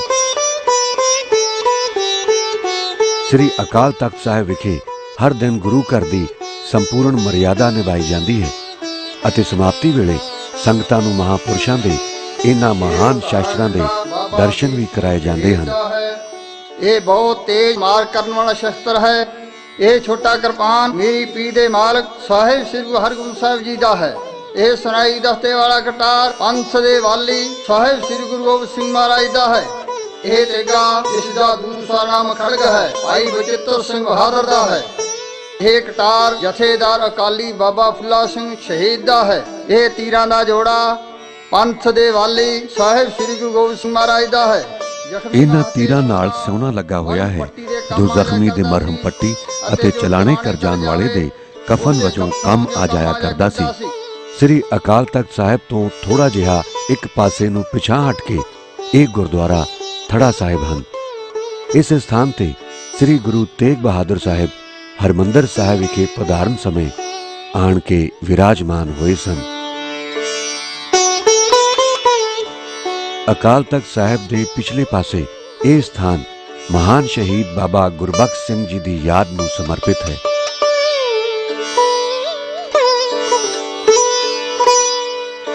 ਬਾਬਾ ਜੀ ਨੇ ਹਰਮੰਦਰ ਸਾਹਿਬ ਦੀ ਪਵਿੱਤਰਤਾ ਨੂੰ ਬਰਕਰਾਰ ਰੱਖਣ ਲਈ ਸਿਰਫ 30 ਸਿੰਘਾਂ ਦੀ ਅਗਵਾਈ ਕਰਦੇ ਹੋਇਆਂ ਅਬਦਾਲੀ ਦੀ 30000 ਦੀ ਫੌਜ ਦਾ ਡਟ ਕੇ ਮੁਕਾਬਲਾ ਕਰਨ ਉਪਰੰਤ ਆਪਣੀ ਸ਼ਹਾਦਤ ਦਿੱਤੀ ਸੀ। ਸਰੋਵਰ ਦੀ ਪਰਿਕਰਮਾ ਦੀ ਉੱਤਰੀ ਬਾਹੀ ਵਿੱਚ ਇਹ ਇੱਕ ਬਹੁਤ ਹੀ ਬਿਰਧ ਬੇਰੀ ਦਾ ਦਰਖਤ ਹੈ, ਜਿਸ ਨੂੰ ਬੇਰ ਬਾਬਾ ਬੁੱਢਾ ਜੀ ਆਖਦੇ ਹਨ। ਇਸ ਬੇਰੀ ਹੇਠ ਬੈਠ ਕੇ ਬਾਬਾ ਬੁੱਢਾ ਜੀ ਸਰੋਵਰ ਦੀ ਕਾਰ ਸੇਵਾ ਅਤੇ ਸ੍ਰੀ ਹਰਮੰਦਰ ਸਾਹਿਬ ਦੀ ਉਸਾਰੀ ਸਮੇਂ ਸਾਰੇ ਪ੍ਰਬੰਧ ਦੀ ਨਿਗਰਾਨੀ ਕਰਿਆ ਕਰਦੇ ਸਨ। ਕਿਹਾ ਜਾਂਦਾ ਹੈ ਕਿ ਇਸੇ ਬੇਰੀ ਹੇਠ ਬਾਬਾ ਬੁੱਢਾ ਜੀ ਸੰਗਤਾਂ ਨੂੰ ਕਾਰ ਸੇਵਾ ਲਈ ਲੋੜੀ ਦੇ ਔਜ਼ਾਰ ਵਗੈਰਾ ਵੰਡਣ ਤੋਂ ਇਲਾਵਾ ਸ਼ਾਮ ਨੂੰ ਰਾਜਾਂ ਤੇ ਮਜ਼ਦੂਰਾਂ ਨੂੰ ਉਹਨਾਂ ਦਾ ਮਿਹਨਤਾਨਾ ਵੀ ਵੰਡਿਆ ਕਰਦੇ ਸਨ। ਬੇਰੀ ਦਾ ਇਹ ਦਰਖਤ ਲਗਭਗ 400 ਸਾਲ ਪੁਰਾਣਾ ਹੈ ਅਤੇ ਇਸ ਦਰਖਤ ਦੇ ਬਹੁਤ ਜ਼ਿਆਦਾ ਬਿਰਧ ਹੋਣ ਕਰਕੇ ਇਸ ਨੂੰ ਡਿੱਗਣ ਤੋਂ ਬਚਾਉਣ ਲਈ ਲੋਹੇ ਦੇ ਗਾਡਰਾਂ ਤੇ ਪੱਥਰਾਂ ਨਾਲ ਸਹਾਰਾ ਦਿੱਤਾ ਗਿਆ ਹੈ। ਇਸ ਬੇਰੀ ਦੇ ਨਾਲ ਹੀ ਸੰਗਮਰਮਰ ਦੇ ਇਸ ਪੱਥਰ ਉੱਪਰ ਸੰਖੇਪ ਵਿੱਚ ਇਸ ਬੇਰੀ ਦੇ ਇਤਿਹਾਸ ਦੇ ਨਾਲ-ਨਾਲ ਬਾਬਾ ਬੁੱਢਾ ਜੀ ਦੇ ਜੀਵਨ ਦਾ ਕੁਝ ਬਿਉਰਾ ਉਕਰਿਆ ਹੋਇਆ ਹੈ। ਸ੍ਰੀ ਅੰਮ੍ਰਿਤਸਰ ਸਰੋਵਰ ਦੀ ਪੂਰਬੀ ਬਾਹੀ ਦੇ ਵੱਡੇ ਪੌੜ ਉੱਪਰ ਇਹ ਇੱਕ ਹੋਰ ਬੇਰੀ ਦਾ ਦਰਖਤ ਹੈ। ਇਸ ਸਥਾਨ ਤੇ ਪੱਟੀ ਦੇ ਰਾਜੇ ਦੁਨੀ ਚੰਦ ਦੀ ਬੇਟੀ ਬੀਬੀ ਰਜਨੀ ਦਾ ਕੋੜੀ ਪਿੰਗਲਾ ਪਤੀ ਵਿਸਾਖੀ ਵਾਲੇ ਦਿਨ ਇਸ ਬੇਰੀ ਹੇਠ ਸਰੋਵਰ ਵਿੱਚ ਇਸ਼ਨਾਨ ਕਰਕੇ ਨਿਰੋਗ ਹੋ ਗਿਆ ਸੀ। ਜਿਸ ਕਰਕੇ ਸ੍ਰੀ ਗੁਰੂ ਰਾਮਦਾਸ ਜੀ ਨੇ ਇਸ ਬੇਰੀ ਦਾ ਨਾਮ ਦੁੱਖ ਭੰਜਣੀ ਬੇਰੀ ਰੱਖ ਦਿੱਤਾ ਸੀ। ਇਸ ਬੇਰੀ ਦੇ ਥੱਲੇ ਇਹ ਇੱਕ ਕਾਟ ਹੈ। ਇਥੋਂ ਹੀ ਸ੍ਰੀ ਗੁਰੂ ਰਾਮਦਾਸ ਜੀ ਨੇ ਸਰੋਵਰ ਦੀ ਕਾਰ ਸੇਵਾ ਸ਼ੁਰੂ ਕੀਤੀ ਸੀ।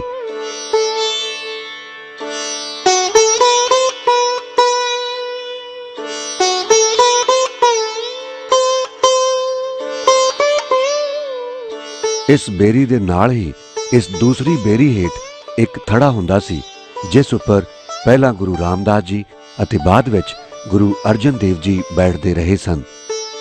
ਇਸ ਥੜੇ ਵਾਲੇ ਸਥਾਨ ਤੇ ਹੀ ਭਾਈ ਜੱਸਾ ਸਿੰਘ ਗ੍ਰੰਥੀ ਅਤੇ ਭਾਈ ਭਾਗ ਸਿੰਘ ਜੀ ਨੇ ਇਸ ਬੁੰਗੇ ਦਾ ਨਿਰਮਾਣ ਕਰਵਾਇਆ ਸੀ, ਜਿਸ ਵਿੱਚ ਹੁਣ ਦੋ ਸਥਾਨਾਂ ਤੇ ਸ੍ਰੀ ਗੁਰੂ ਗ੍ਰੰਥ ਸਾਹਿਬ ਦਾ ਪ੍ਰਕਾਸ਼ ਕੀਤਾ ਜਾਂਦਾ ਹੈ ਅਤੇ ਅਖੰਡ ਪਾਠਾਂ ਦੀਆਂ ਲੜੀਆਂ ਚੱਲਦੀਆਂ ਰਹਿੰਦੀਆਂ ਹਨ। ਇਸ ਸਥਾਨ ਨੂੰ ਹੁਣ ਗੁਰਦੁਆਰਾ ਸ੍ਰੀ ਦੁਖ ਭੰਜਨੀ ਬੇਰ ਸਾਹਿਬ ਦੇ ਨਾਮ ਨਾਲ ਜਾਣਿਆ ਜਾਂਦਾ ਹੈ। ਸ੍ਰੀ ਹਰਮੰਦਰ ਸਾਹਿਬ ਦੇ ਪਿਛਲੇ ਪਾਸੇ ਅਤੇ ਹਰਕੀ ਪੌੜੀ ਦੇ ਸਾਹਮਣੇ ਸਰੋਵਰ ਦੀ ਪੂਰਬੀ ਬਾਹੀ ਉੱਪਰ ਗੁਰਦੁਆਰਾ ਬੇਰ ਦੁਖ ਭੰਜਨੀ ਸਾਹਿਬ ਦੇ ਦੱਖਣ ਵੱਲ ਨਾਲ ਲੱਗਮਾ ਹੀ ਇਹ ਸੰਗਮਰਮਰ ਦਾ ਇੱਕ ਥੜਾ ਬਣਿਆ ਹੋਇਆ ਹੈ। ਸਰੋਵਰ ਦੀ ਕਾਰ ਸੇਵਾ ਸਮੇਂ ਪਹਿਲਾਂ ਸ੍ਰੀ ਗੁਰੂ ਰਾਮਦਾਸ ਜੀ ਅਤੇ ਫਿਰ ਸ੍ਰੀ ਗੁਰੂ ਅਰਜਨ ਦੇਵ ਜੀ ਇਸ ਥੜੇ ਵਾਲੇ ਸਥਾਨ ਤੇ ਬੈਠਾ ਕਰਦੇ ਸਨ। ਗੋਬਿੰਦਵਾਲ ਤੋਂ ਗੁਰਬਾਣੀ ਦੀਆਂ ਪੋਥੀਆਂ ਲਿਆ ਕੇ ਸ੍ਰੀ ਗੁਰੂ ਅਰਜਨ ਦੇਵ ਜੀ ਨੇ ਇਸੇ ਸਥਾਨ ਤੇ ਸਥਾਪਿਤ ਕੀਤੀਆਂ ਸਨ। ਇੱਥੇ ਹੀ ਬੈਠ ਕੇ ਗੁਰੂ ਸਾਹਿਬ ਸੰਗਤਾਂ ਨੂੰ ਉਪਦੇਸ਼ ਦੇਣ ਤੋਂ ਇਲਾਵਾ ਸਾਰੀ ਰਾਤ ਕੀਰਤਨ ਕਰਿਆ ਕਰਦੇ ਸਨ ਅਤੇ ਦਿਨ ਵਿੱਚ ਕਾਰ ਸੇਵਾ ਦੀ ਨਿਗਰਾਨੀ ਰੱਖਿਆ ਕਰਦੇ ਸਨ। ਇਸ ਥੜੇ ਦੇ ਦੱਖਣ ਵਾਲੇ ਪਾਸੇ ਨਾਲ ਲੱਗਦੇ ਇਸ ਘਾਟ ਨੂੰ 68 ਘਾਟ ਕਹਿੰਦੇ ਹਨ। ਮਹਾਨ ਕੋਸ਼ ਅਨੁਸਾਰ ਇਸ ਸਥਾਨ ਤੇ ਸ੍ਰੀ ਗੁਰੂ ਅਰਜਨ ਦੇਵ ਜੀ ਨੇ 68 ਤੀਰਥ ਜਹਾਂ ਸਾਧੂ ਪਗ ਤਰੈ ਸ਼ਬਦ ਰਾਮਕਲੀ ਰਾਗ ਵਿੱਚ ਉਚਰਿਆ ਸੀ ਅਤੇ ਇੱਥੇ ਹੀ ਸ੍ਰੀ ਗੁਰੂ ਨਾਨਕ ਦੇਵ ਜੀ, ਸ੍ਰੀ ਗੁਰੂ ਅੰਗਦ ਦੇਵ ਜੀ, ਸ੍ਰੀ ਗੁਰੂ ਅਮਰਦਾਸ ਜੀ ਅਤੇ ਸ੍ਰੀ ਗੁਰੂ ਰਾਮਦਾਸ ਜੀ ਨੇ ਚਰਨ ਪਾਏ ਸਨ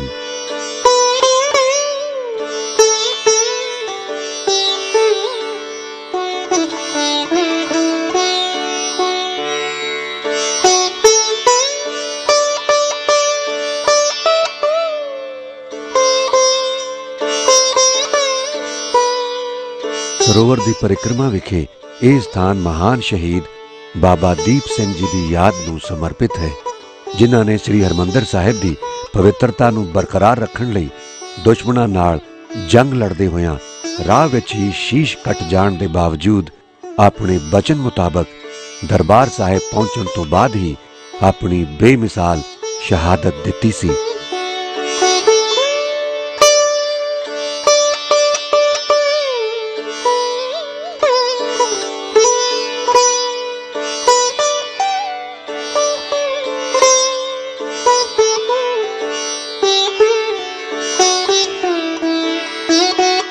ਸ੍ਰੀ ਹਰਮੰਦਰ ਸਾਹਿਬ ਦੇ ਦਰਸ਼ਨ ਇਸ਼ਨਾਨ ਲਈ ਆਉਣ ਵਾਲੀਆਂ ਸੰਗਤਾਂ ਵਾਸਤੇ ਸਰੋਵਰ ਦੀ ਪਰਿਕਰਮਾ ਦੇ ਚੌਹਾਂ ਕੋਨਿਆਂ ਵਿੱਚ ਸ਼੍ਰੋਮਣੀ ਗੁਰਦੁਆਰਾ ਪ੍ਰਬੰਧਕ ਕਮੇਟੀ ਵੱਲੋਂ ਇਹ ਚਾਰ ਸੁੰਦਰ ਛਬੀਲਾਂ ਬਣਾਈਆਂ ਗਈਆਂ ਹਨ, ਜਿਨ੍ਹਾਂ ਤੋਂ ਸ਼ੀਤਲ ਜਲ ਪੀ ਕੇ ਸੰਗਤਾਂ ਆਪਣੀ ਪਿਆਸ ਬੁਝਾਉਂਦੀਆਂ ਹਨ। ਅਤੇ ਸ਼ਰਧਾਲੂ ਮਾਈਆਂ ਬੀਬੀਆਂ ਇਸ ਤਰ੍ਹਾਂ ਝੂਠੇ ਬਰਤਨ ਮਾਂਜ ਕੇ ਸੰਗਤ ਦੀ ਸੇਵਾ ਦਾ ਲਾਭ ਪ੍ਰਾਪਤ ਕਰਦੀਆਂ ਹਨ।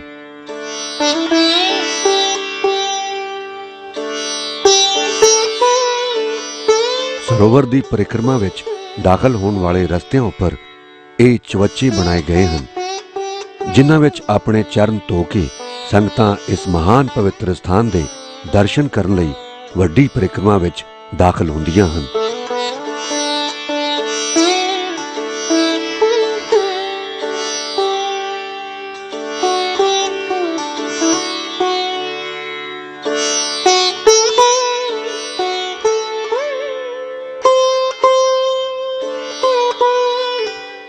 ਇਸ ਤਰ੍ਹਾਂ ਹਰ ਦਿਨ, ਹਰ ਧਰਮ, ਜਾਤ, ਰੰਗ, ਵਰਣ ਅਤੇ ਵਰਗ ਦੀਆਂ ਸੰਗਤਾਂ ਸ੍ਰੀ ਹਰਮੰਦਰ ਸਾਹਿਬ ਦੇ ਦਰਸ਼ਨ ਕਰਨ ਲਈ ਆਉਂਦੀਆਂ ਰਹਿੰਦੀਆਂ ਹਨ ਅਤੇ ਗੁਰੂ ਘਰ ਦੀ ਮਰਿਆਦਾ ਅਨੁਸਾਰ ਸਭ ਨੂੰ ਸਮਾਨ ਜਾਣ ਕੇ ਇਸ ਮਹਾਨ ਪਾਵਨ ਸਥਾਨ ਦੇ ਦਰਸ਼ਨ ਕਰਨ ਦਾ ਸੁਭਾਗ ਪ੍ਰਦਾਨ ਕੀਤਾ ਜਾਂਦਾ ਹੈ।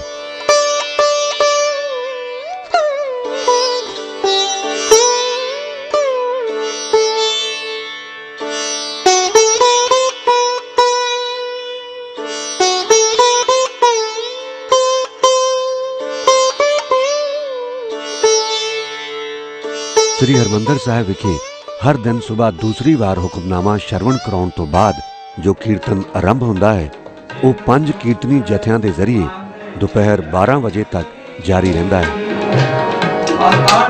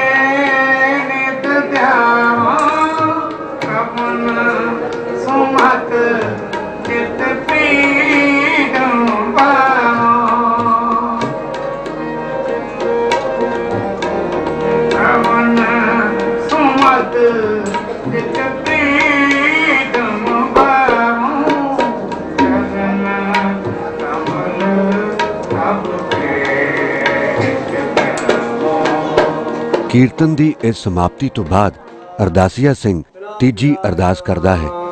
ਚਰਨ ਦੀ ਕਮਾਈ ਦਾ ਧਿਆਨ ਧਰ ਕੇ ਖਾਲਸਾ ਜੀ ਬੋਲੋ ਬੋਲੋ। ਇਸ ਤੀਜੀ ਅਰਦਾਸ ਉਪਰੰਤ ਅਗਲੇ ਰਾਗੀ ਜਥੇ ਦਾ ਕੀਰਤਨ ਆਰੰਭ ਹੋ ਜਾਂਦਾ ਹੈ ਅਤੇ ਕੜਾਹ ਪ੍ਰਸ਼ਾਦ ਵਰਤਾਇਆ ਜਾਂਦਾ ਹੈ।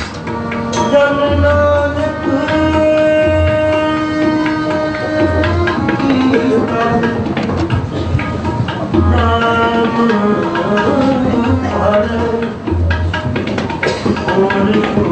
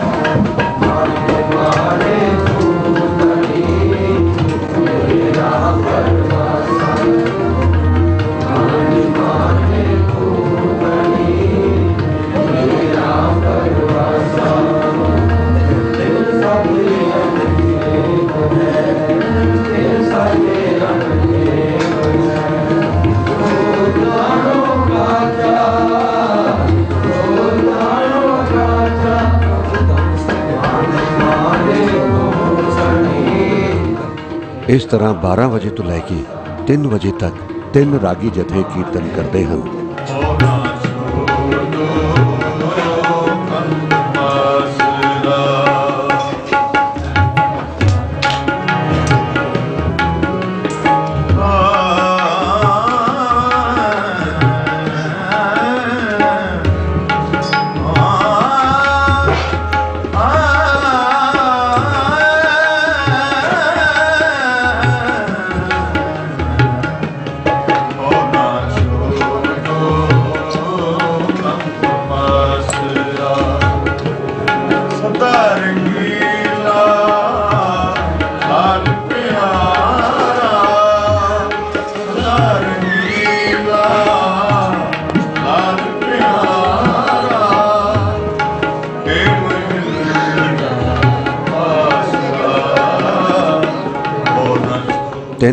ਆਰਤੀ ਦੇ ਸ਼ਬਦ ਗगन ਮੇ ਥਾਲ ਦਾ ਕੀਰਤਨ ਹੁੰਦਾ ਹੈ।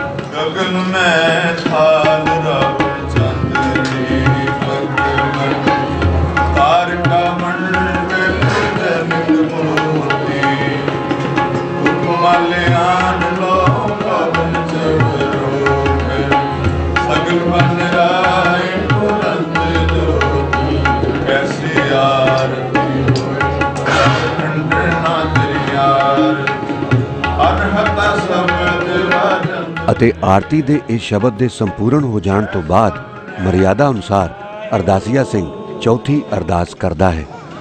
ਇੱਕ ਓੰਕਾਰ ਵਾਹਿਗੁਰੂ ਜੀ ਕੀ ਫਤਿਹ।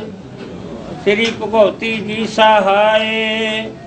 ਵਾਰ ਸ੍ਰੀ ਭਗਵਤੀ ਜੀ ਕੀ ਪਾਤਸ਼ਾਹੀ ਦਸਵੀਂ। ਪ੍ਰਥਮ ਭਗਵਤੀ ਸਿਮਰ ਕੈ ਗੁਰੂ ਨਾਨਕ ਲਈ ਧਿਆਏ।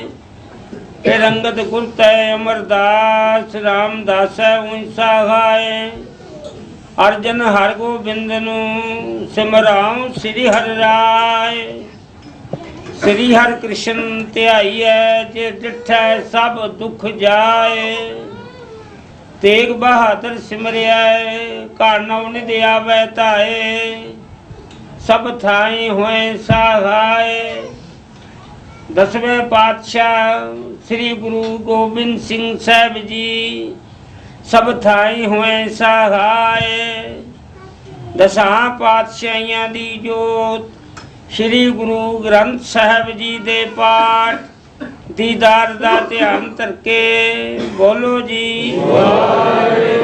ਇਸ ਚੌਥੀ ਅਰਦਾਸ ਉਪਰੰਤ ਫਿਰ ਕੀਰਤਨ ਸ਼ੁਰੂ ਹੋ ਜਾਂਦਾ ਹੈ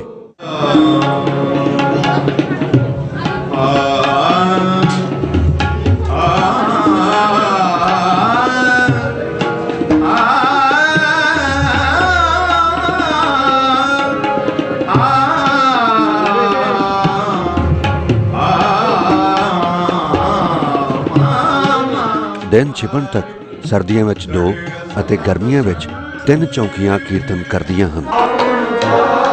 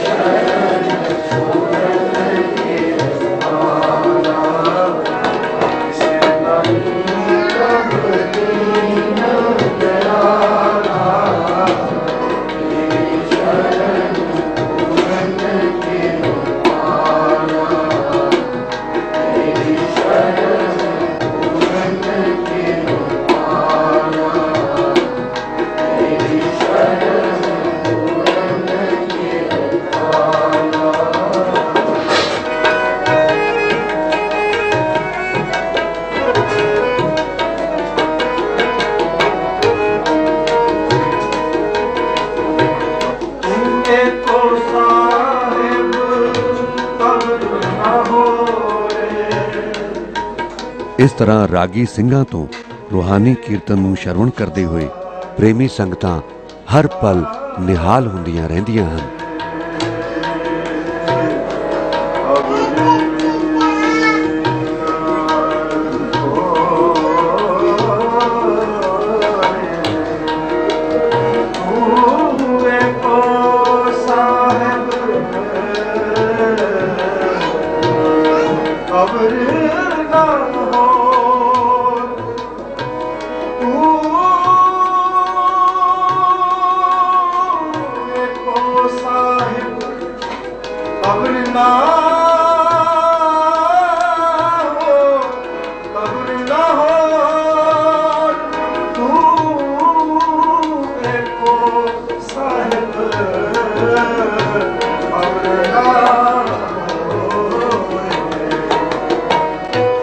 ਛਿਪਣ ਤੋਂ ਬਾਅਦ ਸੋਦਰ ਦੀ ਚੌਂਕੀ ਦੇ ਅੰਤ ਵਿੱਚ ਰਾਗੀ ਸਿੰਘ ਜੁਗ ਜੁਗ ਭਗਤ ਉਪਾਇਆ ਛੰਦ ਦੇ ਚਾਰ ਤੁਕਾ ਬੰਦ ਦਾ ਕੀਰਤਨ ਕਰਦੇ ਹਨ। ਹਰ ਜੁਗ ਜੁਗ ਭਗਤ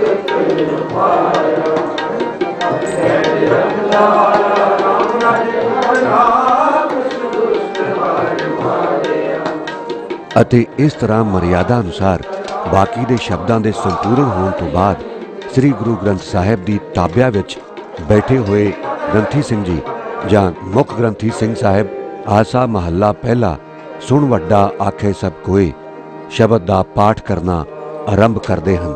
ਸੁਣ ਵੱਡਾ ਆਖੇ ਸਭ ਕੋਈ ਦੇਵਗ ਵੱਡਾ ਜਿੰਤਾ ਹੋਏ, ਕੀਮਤ ਪਾਏ ਨਾ ਕਹਿਆ ਜਾਏ, ਕਹਿਣੇ ਵਾਲੇ ਤੇਰੇ ਰਹੇ ਸਮਾਏ, ਵੱਡੇ ਸਾਹਿਬਾ ਗਹਿਰ ਗੰਭੀਰਾ, ਗੁਣੀ ਗਹੀਰਾ ਕੋਈ ਨਾ ਜਾਣੇ, ਤੇਰਾ ਕੀਤਾ ਕੇਵੜ ਚੀਰਾ ਰਹਾਉ। ਅਤੇ ਇਸ ਤਰ੍ਹਾਂ ਸਿੱਖ ਮਰਿਆਦਾ ਵਿੱਚ ਪ੍ਰਵਾਨਿਤ ਸੋਦਰ ਦਾ ਬਾਕੀ ਦਾ ਰਹਿੰਦਾ ਸਾਰਾ ਪਾਠ ਕਰਦੇ ਹਨ। ਸ੍ਰੀ ਹਰਮੰਦਰ ਸਾਹਿਬ ਵਿਖੇ ਬਿਜਲੀ ਦਾ ਪ੍ਰਬੰਧ ਹੋ ਜਾਣ ਤੋਂ ਬਾਅਦ ਹੁਣ ਘਿਓ ਦੀ ਇਸ ਜੋਤ ਨੂੰ ਹਰ ਦਿਨ ਰਹਿਰਸ ਦੇ ਪਾਠ ਤੋਂ ਪਹਿਲਾਂ ਜਗਾ ਦਿੱਤਾ ਜਾਂਦਾ ਹੈ। ਅਤੇ ਸਵੇਰ ਆਸਾ ਜੀ ਦੀ ਵਾਰ ਦੇ ਭੋਗ ਉਪਰੰਤ ਠੰਡੀ ਕਰ ਦਿੱਤਾ ਜਾਂਦਾ ਹੈ। ਸੋਦਰ ਦੇ ਇਸ ਪਾਠ ਦੇ ਸੰਪੂਰਨ ਹੋ ਜਾਣ ਤੋਂ ਬਾਅਦ ਅਰਦਾਸੀਆ ਸਿੰਘ ਪੰਜਵਾਂ ਅਰਦਾਸਾ ਕਰਦਾ ਹੈ। ਵਾਰ ਸ੍ਰੀ ਭਗਉਤੀ ਜੀ ਕੀ ਪਾਤਸ਼ਾਹੀ ਦਸਵੀਂ, ਪ੍ਰਥਮ ਭਗਉਤੀ ਸਿਮਰ ਕਾ ਗੁਰੂ ਨਾਨਕ ਲਈ ਧਿਆਏ। ਫਿਰ ਅੰਗਦ ਗੁਰ ਤੇ ਅਮਰਦਾਸ ਰਾਮਦਾਸ ਹੁਣੀ ਸਹਾਏ। ਅਰਜਨ ਹਰ ਗੋਬਿੰਦ ਨਾਮ ਸਿਮਰਨ ਸ੍ਰੀ ਹਰ ਰਾਏ। ਸ੍ਰੀ ਹਰ ਕ੍ਰਿਸ਼ਨ ਧਿਆਈਐ, ਜਿਸ ਡਿਠੈ ਸਭ ਦੁਖ ਜਾਏ। ਤੇਗ ਬਹਾਦਰ ਸਿਮਰਿਆ ਘਰ ਨਾਮ ਨਿਧਿਆਵੇ ਧਾਏ ਸਭ ਥਾਈ ਹੋਏ ਸਹਾਈ ਦਸਵੇਂ ਪਾਤਸ਼ਾਹ ਸ੍ਰੀ ਗੁਰੂ ਗੋਬਿੰਦ ਸਿੰਘ ਸਾਹਿਬ ਜੀ, ਸਭ ਥਾਈ ਹੋਏ ਸਹਾਈ ਦਸਾਂ ਪਾਤਸ਼ਾਹੀਆਂ ਦੀ ਜੋਤ ਸ੍ਰੀ ਗੁਰੂ ਗ੍ਰੰਥ ਸਾਹਿਬ ਜੀ ਦੇ ਪਾਠ ਦੀਦਾਰ ਦਾ ਧਿਆਨ ਧਰ ਕੇ ਬੋਲੋ।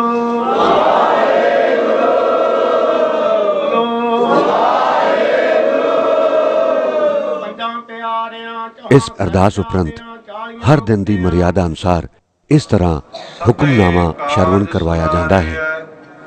ਜਾਂ ਤੁਧ ਭਾਵੰਦਾ ਆਨੰਦ ਭਇਆ ਸੁਖ ਪਾਇਆ। ਮਿਲ ਗੁਰੂ ਗੋਬਿੰਦਾ। ਸਭੇ ਕਾਜ ਸਵਾਰਿਆ ਜਾਂ ਤੁਧ ਭਾਵੰਦਾ। ਸੁਖ ਟਲ ਗੁਰ ਸੇਵੀਐ ਕਹਿ ਸਹਿਜ ਸੁਹਾਏ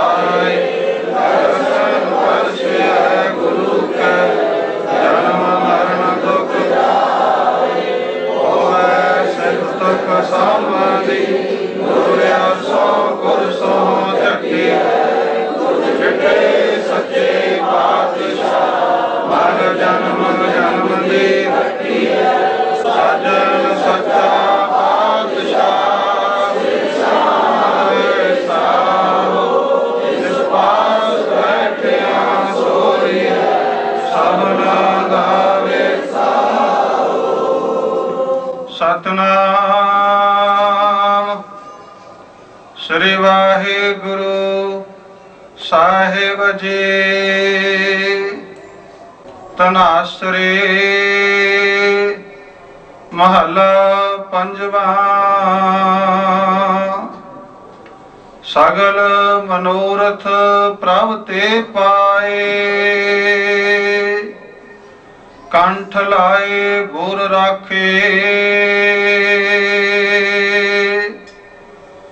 ਸੰਸਾਰ ਸਾਗਰ ਮਹਿ ਜਲਨ ਨਾ ਦੀਨੇ। ਕਿਨੈ ਦੁੱਤਰ ਭਾਖੇ।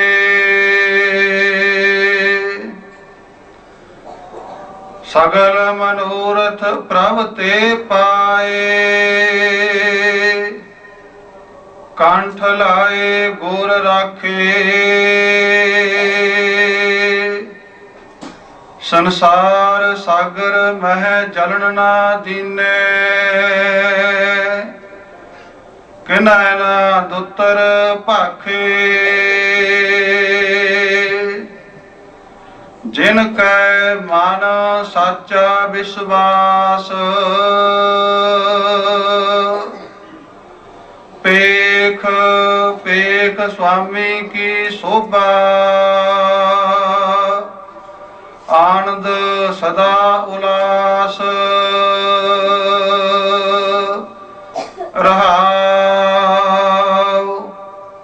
ਇਸ ਹੁਕਮਨਾਮੇ ਉਪਰੰਤ ਸ੍ਰੀ ਗੁਰੂ ਗ੍ਰੰਥ ਸਾਹਿਬ ਦੇ ਸਰੂਪ ਨੂੰ ਹੁਕਮਨਾਮਾ ਲੈਣ ਤੋਂ ਪਹਿਲਾਂ ਦੀ ਤਰ੍ਹਾਂ ਹੀ ਸਜਾ ਦਿੱਤਾ ਜਾਂਦਾ ਹੈ।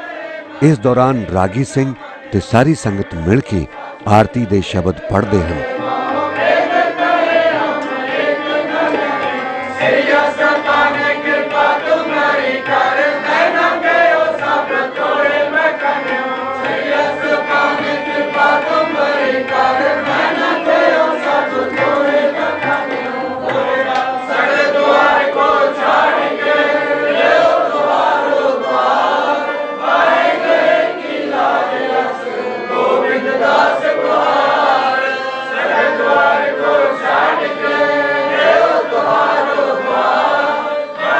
ਇਸ ਉਪਰੰਤ ਫੁੱਲਾਂ ਦੀ ਸਜਾਵਟ ਨੂੰ ਬਦਲ ਕੇ ਨਵੇਂ ਤੇ ਤਾਜ਼ੇ ਫੁੱਲਾਂ ਨਾਲ ਫੇਰ ਸਜਾਵਟ ਕਰ ਦਿੱਤੀ ਜਾਂਦੀ ਹੈ। ਆਰਤੀ ਦੇ ਇਹਨਾਂ ਸ਼ਬਦਾਂ ਤੋਂ ਬਾਅਦ ਅਰਦਾਸੀਆ ਸਿੰਘ ਬਹੁਤ ਹੀ ਸੰਖੇਪ ਵਿੱਚ ਸ਼ਬਦ ਚੌਂਕੀ ਆਰਤੀ ਜੀ ਦੀ ਅਰਦਾਸ ਕਰਦਾ ਹੈ ਅਤੇ ਇਸ ਦੌਰਾਨ ਬਾਕੀ ਦੀ ਸਾਰੀ ਸੰਗਤ ਬੈਠੀ ਰਹਿੰਦੀ ਹੈ। ਸ਼ਬਦ ਚੌਂਕੀ ਆਰਤੀ ਸਾਹਿਬ ਜੀ ਕੀ ਅਰਦਾਸ ਇਸ ਅਰਦਾਸ ਤੋਂ ਬਾਅਦ ਹਰ ਦਿਨ ਦੀ ਮਰਿਆਦਾ ਅਨੁਸਾਰ ਰਾਗੀ ਸਿੰਘ ਅਤੇ ਸੰਗਤ ਮਿਲ ਕੇ ਇਸ ਤਰ੍ਹਾਂ ਸ਼ਬਦ ਗਾਇਨ ਕਰਦੇ ਹਨ।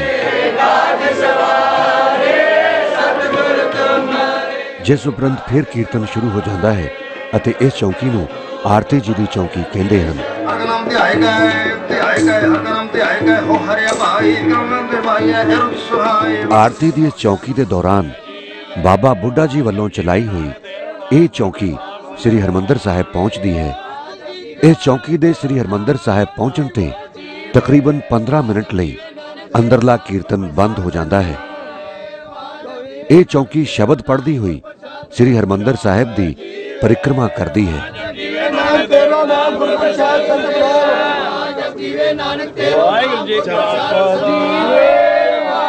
ਪਰਿਕਰਮਾ ਕਰਕੇ ਮਰਿਆਦਾ ਅਨੁਸਾਰ ਕੜਾ ਪ੍ਰਸ਼ਾਦ ਨੂੰ ਭੋਗ ਲਗਵਾਉਣ ਤੇ ਵਰਤਾਉਣ ਤੋਂ ਬਾਅਦ ਇਸ ਚੌਂਕੀ ਦਾ ਅਰਦਾਸੀਆ ਸਿੰਘ ਸ੍ਰੀ ਹਰਮੰਦਰ ਸਾਹਿਬ ਦੇ ਦੁਆਰ ਦੇ ਸਾਹਮਣੇ ਬਾਰ-ਬਾਰ ਖੜਾ ਹੋ ਕੇ ਅਰਦਾਸ ਕਰਦਾ ਹੈ। ਗੋਬਿੰਦ ਨੂੰ ਸਿਮਰ ਸ੍ਰੀ ਹਰਿ ਸ੍ਰੀ ਹਰਿ ਕ੍ਰਿਸ਼ਨ ਤੇ ਆਈ ਹੈ ਜੇ ਦਿੱਥੇ ਸਭ ਦੁਖ ਜਾਏ। ਇਸ ਅਰਦਾਸ ਤੋਂ ਬਾਅਦ ਇਹ ਚੌਂਕੀ ਵਾਪਸ ਚਲੀ ਜਾਂਦੀ ਹੈ। ਜਿਸ ਉਪਰੰਤ ਸ੍ਰੀ ਹਰਮੰਦਰ ਸਾਹਿਬ ਵਿਖੇ ਕੀਰਤਨ ਫੇਰ ਸ਼ੁਰੂ ਹੋ ਜਾਂਦਾ ਹੈ। ਜਨਮ ਮਰਨ ਦੁੱਖ ਜਾਏ, ਜਨਮ ਮਰਨ ਦੁਖ ਜਾਏ। ਜਨਮ ਮਰਨ ਜਨਮ ਮਰਨ ਜਨਮ ਮਰਨ ਦੁਖ ਜਾਏ ਦਰਸ਼ਨ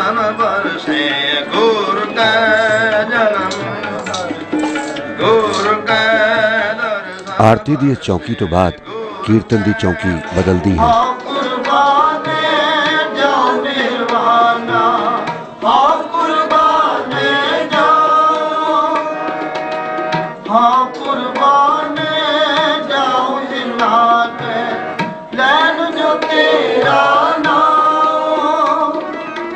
ਅਤੇ ਇਸ ਅਗਲੀ ਚੌਕੀ ਨੂੰ ਕੀਰਤਨ ਸੋਹਲੇ ਦੀ ਚੌਕੀ ਕਹਿੰਦੇ ਹਨ।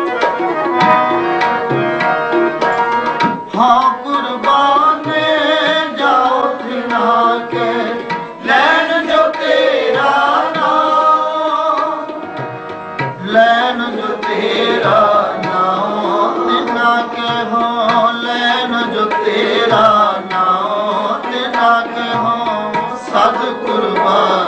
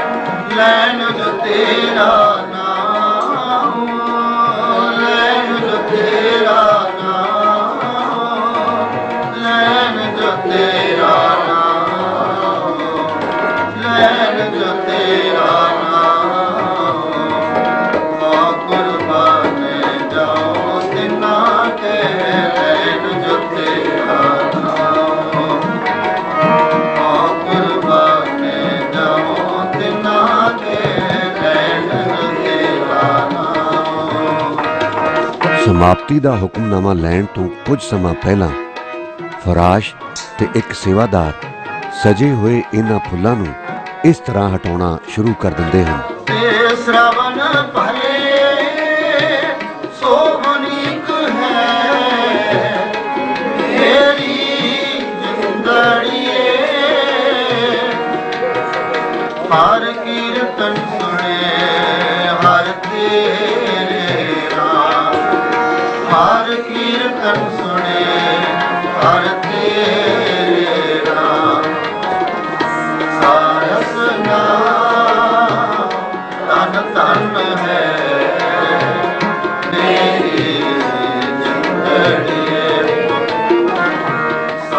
ਅਤੇ ਫਿਰ ਗ੍ਰੰਥੀ ਸਿੰਘ ਜਾਂ ਮੁੱਖ ਗ੍ਰੰਥੀ ਸਿੰਘ ਜੀ ਦੀ ਮਦਦ ਨਾਲ ਸ੍ਰੀ ਗੁਰੂ ਗ੍ਰੰਥ ਸਾਹਿਬ ਉੱਪਰੋਂ ਇੱਕ ਇੱਕ ਕਰਕੇ ਸਤਕਾਰ ਸਹਿਤ ਰੁਮਾਲੇ ਉਤਾਰਨ ਤੋਂ ਬਾਅਦ ਉਹਨਾਂ ਦੀਆਂ ਤਹਾਂ ਲਗਾ ਕੇ ਰੁਮਾਲਿਆਂ ਵਾਲੀ ਪੇਟੀ ਵਿੱਚ ਰੱਖਣਾ ਸ਼ੁਰੂ ਕਰ ਦਿੰਦੇ ਹਨ।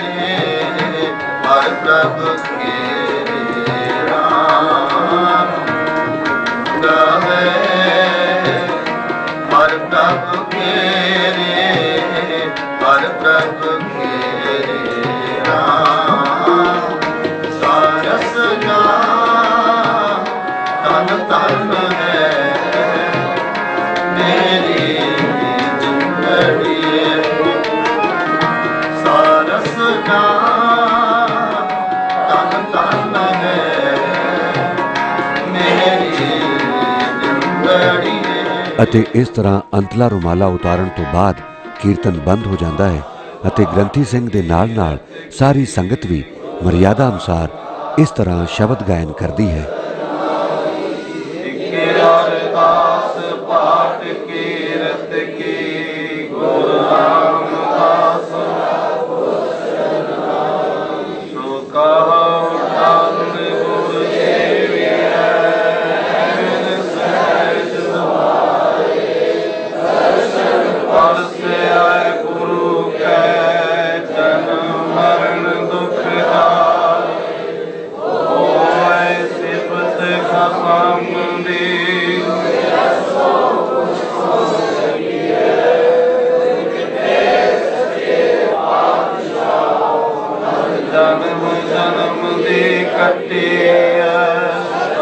ਅਤੇ ਇਸ ਸ਼ਬਦ ਗਾਇਨ ਉਪਰੰਤ ਗ੍ਰੰਥੀ ਸਿੰਘ ਜਾਂ ਮੁੱਖ ਗ੍ਰੰਥੀ ਸਿੰਘ ਜੀ ਇਸ ਤਰ੍ਹਾਂ ਹੁਕਮਨਾਮਾ ਸ਼ਰਵਣ ਕਰਵਾਉਂਦੇ ਹਨ।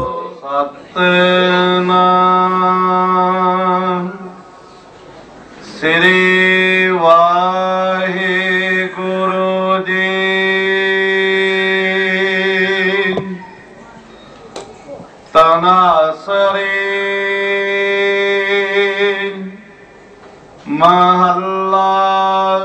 ਪੰਜਵਾਂ।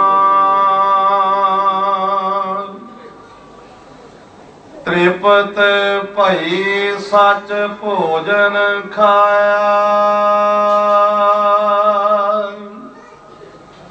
ਮਾਨ ਤਾਨ ਰਸਨਾ ਨਾਮ ਤੇ ਆਇਆ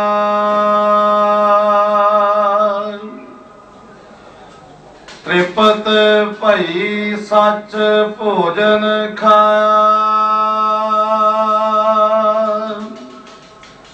ਮਨ ਤਨ ਰਸਨਾ ਨਾਮ ਤੇ ਆਇਆ।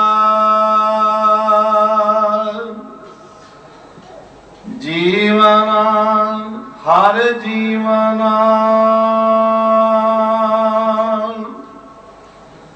ਜੀਵਨ ਹਰ ਜਪ ਸਾਧ ਸੰਗ।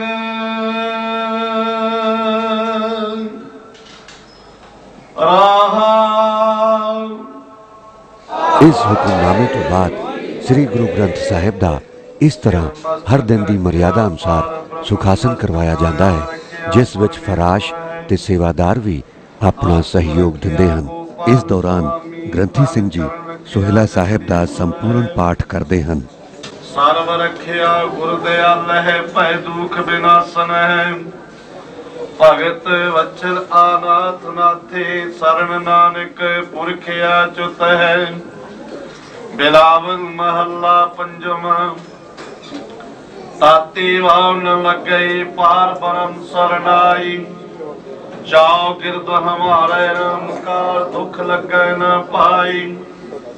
ਸਤਗੁਰ ਪੂਰਾ ਭੇਟਿਆ, ਜਿਨ ਬਣਤ ਬਣਾਈ। RAM ਨਾਮ ਔਖਰ ਦੀਆ, ਏਕਾ ਲਿਵਲਾਈ ਰਾਮ ਰਾਖ ਲਿਏ, ਤਨ ਰਖਣ ਹਾਰ ਸਭ ਯਾਦ ਮਿਟਾਈ। ਕੋ ਨਾਨਕ ਕਿਰਪਾ ਭਈ, ਪ੍ਰਭੈ ਸਹਾਈ।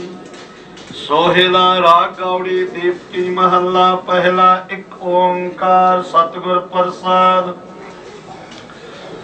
ਜੈ ਕਰ ਕੀਰਤ ਆਖੀਐ, ਕਰਤੇ ਕਾ ਹੋਏ ਵਿਚਾਰ।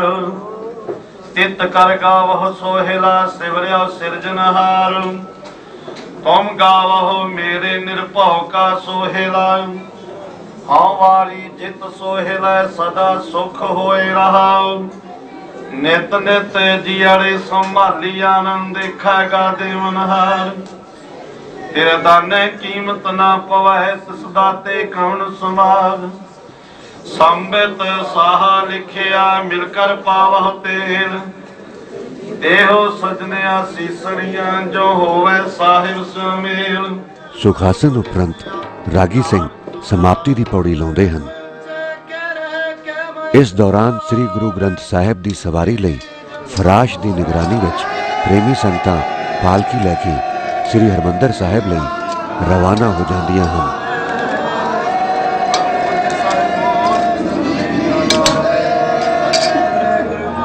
ਸਮਾਪਤੀ ਦੀ ਪੌੜੀ ਉਪਰੰਤ ਗੁਰੂ ਸਾਹਿਬ ਦੀ ਸਵਾਰੀ ਚੱਲਣ ਦਾ ਛੇਵਾਂ ਅਰਦਾਸਾ ਕੀਤਾ ਜਾਂਦਾ ਹੈ ਪਾਤਸ਼ਾਹੀ ਦਸਵੀਂ ਪ੍ਰਥਮ ਭਗਵਤੀ ਸਮਰਪਾ ਗੁਰੂ ਨਾਨਕ ਦੇਵ ਜੀ ਆਏ ਰੰਗ ਗੁਰਤਾ ਅਮਰਦਾਸ ਰਾਮਦਾਸਾ ਹੋਇ ਸਹਾਇ ਅਰਜੁਨ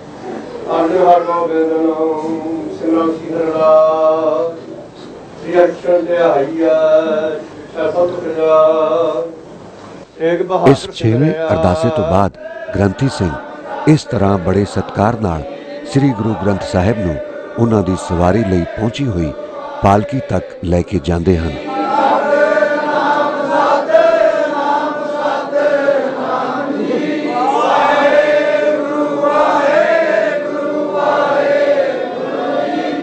ਅਤੇ ਫਿਰ ਇਸ ਤਰ੍ਹਾਂ ਸੁਨਹਿਰੀ ਪਾਲਕੀ ਵਿੱਚ ਸ੍ਰੀ ਗੁਰੂ ਗ੍ਰੰਥ ਸਾਹਿਬ ਦੀ ਸਵਾਰੀ ਕੋਠਾ ਸਾਹਿਬ ਲਈ ਰਵਾਨਾ ਹੋ ਜਾਂਦੀ ਹੈ। ਗੁਰੂ ਸਾਹਿਬ ਦੀ ਪਾਲਕੀ ਦੇ ਰਵਾਨਾ ਹੋ ਜਾਣ ਤੋਂ ਬਾਅਦ ਸ੍ਰੀ ਹਰਮੰਦਰ ਸਾਹਿਬ ਵਿਖੇ ਫਰਾਸ਼ਾਂ ਦੀ ਨਿਗਰਾਨੀ ਵਿੱਚ ਪ੍ਰੇਮੀ ਸੱਜਣ ਇਸ ਤਰ੍ਹਾਂ ਬੜੇ ਸਤਕਾਰ ਨਾਲ ਸਫ਼ਾਈ ਦੀ ਸੇਵਾ ਦੀ ਤਿਆਰੀ ਆਰੰਭ ਕਰਦੇ ਹਨ।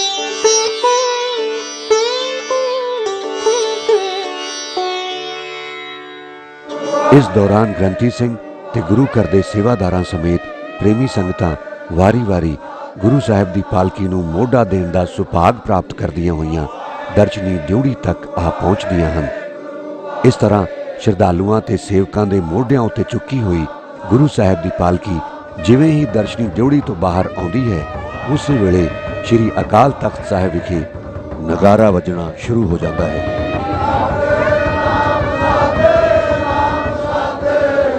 ਹਰ ਰੋਜ਼ ਦੀ ਮਰਿਆਦਾ ਅਨੁਸਾਰ ਪਾਲਕੀ ਦੇ ਡਿਊੜੀ ਤੋਂ ਬਾਹਰ ਆ ਜਾਣ ਤੋਂ ਬਾਅਦ ਕਿਵਾੜ ਬੰਦ ਕਰ ਦਿੱਤੇ ਜਾਂਦੇ ਹਨ।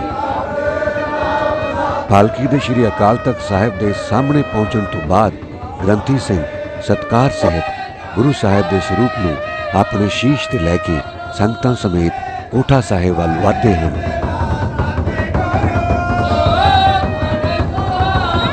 ਮਰਿਆਦਾ ਅਨੁਸਾਰ ਸ੍ਰੀ ਗੁਰੂ ਗ੍ਰੰਥ ਸਾਹਿਬ ਦੇ ਕੋਠਾ ਸਾਹਿਬ ਪਹੁੰਚਣ ਦੇ ਨਾਲ ਹੀ ਸ੍ਰੀ ਅਕਾਲ ਤਖਤ ਸਾਹਿਬ ਵਿਖੇ ਨਗਾਰਾ ਵੱਜਣਾ ਬੰਦ ਹੋ ਜਾਂਦਾ ਹੈ।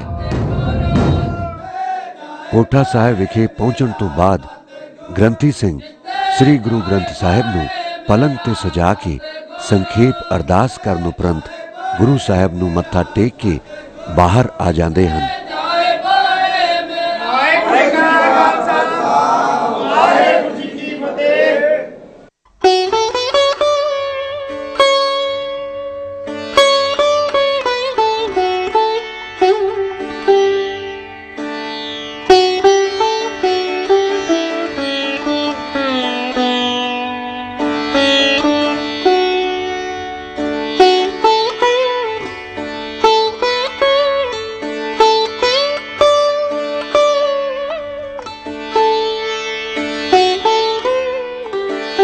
ਇਧਰ ਸ੍ਰੀ ਹਰਮੰਦਰ ਸਾਹਿਬ ਵਿਖੇ ਫਰਾਸ਼ ਤੇ ਪ੍ਰੇਮੀ ਸੱਜਣ ਅਰਦਾਸ ਕਰਨ ਉਪਰੰਤ ਬੜੀ ਸ਼ਰਧਾ ਤੇ ਸਤਕਾਰ ਨਾਲ ਸਫ਼ਾਈ ਦੀ ਸੇਵਾ ਆਰੰਭ ਕਰਦੇ ਹਨ।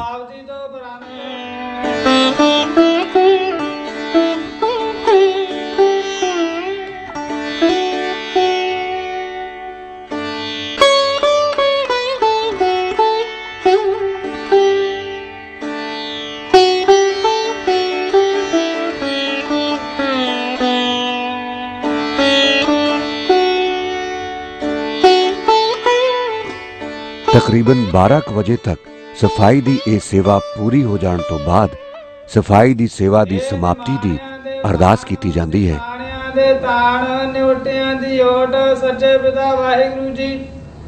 ਧੰਨ ਧੰਨ ਸ੍ਰੀ ਗੁਰੂ ਰਾਮਦਾਸ ਸਾਹਿਬ ਜੀ ਮਹਾਰਾਜ। ਅਤੇ ਅਰਦਾਸ ਤੋਂ ਬਾਅਦ ਸਾਰੇ ਪ੍ਰੇਮੀ ਸੱਜਣ ਪ੍ਰਸ਼ਾਦ ਲੈ ਕੇ ਬਾਹਰ ਚਲੇ ਜਾਂਦੇ ਹਨ ਜਿਸ ਤੋਂ ਬਾਅਦ ਅਗਲੀ ਇਸ਼ਨਾਨ ਦੀ ਸੇਵਾ ਲਈ ਮੌਸਮ ਮੁਤਾਬਕ ਤਕਰੀਬਨ 12:30 ਵਜੇ ਜਾਂ 1 ਵਜੇ ਅੰਮ੍ਰਿਤਧਾਰੀ ਪੂਰਨ ਸਿੱਖਾਂ ਦਾ ਜਥਾ ਚੋਬਦਾਰ ਨੂੰ ਆਪਣੇ ਪਾਸ ਵਿਖਾ ਕੇ ਸ੍ਰੀ ਹਰਮੰਦਰ ਸਾਹਿਬ ਦੇ ਅੰਦਰ ਦਾਖਲ ਹੁੰਦਾ ਹੈ। ਗੁਰੂ ਘਰ ਦੀ ਮਰਿਆਦਾ ਅਨੁਸਾਰ ਇਸ਼ਨਾਨ ਦੀ ਇਸ ਸੇਵਾ ਦਾ ਸੁਭਾਗ ਸਿਰਫ ਅੰਮ੍ਰਿਤਧਾਰੀ ਪੂਰਨ ਸਿੱਖ ਹੀ ਪ੍ਰਾਪਤ ਕਰ ਸਕਦੇ ਹਨ। ਇਸ਼ਨਾਨ ਦੀ ਸੇਵਾ ਆਰੰਭ ਕਰਨ ਤੋਂ ਪਹਿਲਾਂ ਫਰਾਸ਼ ਤੇ ਸਾਰੇ ਅੰਮ੍ਰਿਤਧਾਰੀ ਪ੍ਰੇਮੀ ਸਿੰਘ ਅਰਦਾਸ ਕਰਦੇ ਹਨ। ਦਾਨ ਕੇਸ ਦਾਨ ਰਹਿਤ ਦਾਨ ਵਿਵੇਕ ਦਾਨ ਵਿਸਾਲ ਦਾਨ ਭਰੋਸਾ ਦਾਨ ਦਾਨਾਨ ਸਿਰਦਾਨ ਨਾਮ ਦਾਨ।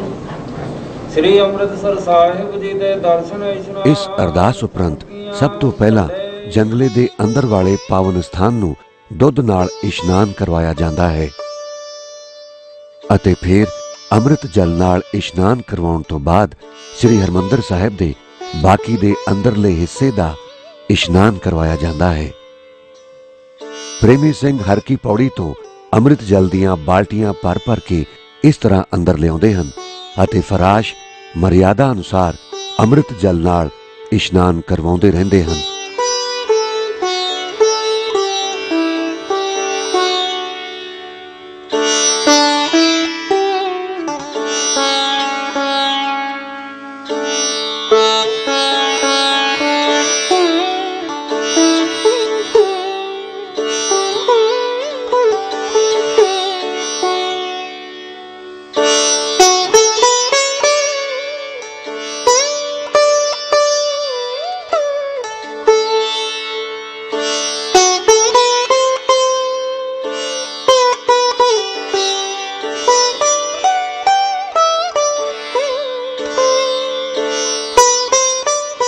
ਇਸ਼ਨਾਨ ਦੀ ਇਸ ਸੇਵਾ ਦੇ ਸੰਪੂਰਨ ਹੋ ਜਾਣ ਤੋਂ ਬਾਅਦ ਇਸ ਤਰ੍ਹਾਂ ਸੁਕਾਈ ਦੀ ਸੇਵਾ ਕੀਤੀ ਜਾਂਦੀ ਹੈ ਅਤੇ ਸੁਕਾਈ ਦੀ ਇਸ ਸੇਵਾ ਦੇ ਮੁਕੰਮਲ ਹੋ ਜਾਣ ਤੋਂ ਬਾਅਦ ਮਰਿਆਦਾ ਅਨੁਸਾਰ ਵਿਛਾਈ ਦੀ ਸੇਵਾ ਕੀਤੀ ਜਾਂਦੀ ਹੈ।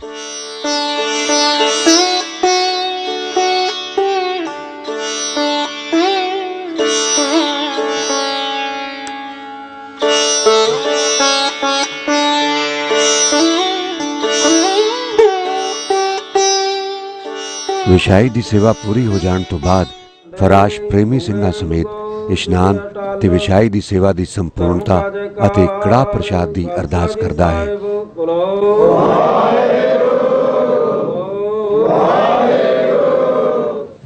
ਅਰਦਾਸ ਉਪਰੰਤ ਸੇਵਾ ਕਰਨ ਵਾਲੇ ਸਾਰੇ ਪ੍ਰੇਮੀ ਸਿੰਘ ਪ੍ਰੇਮ ਸਹਿਤ ਇਕੱਠੇ ਸ਼ਬਦ ਪੜ੍ਹਦੇ ਹਨ।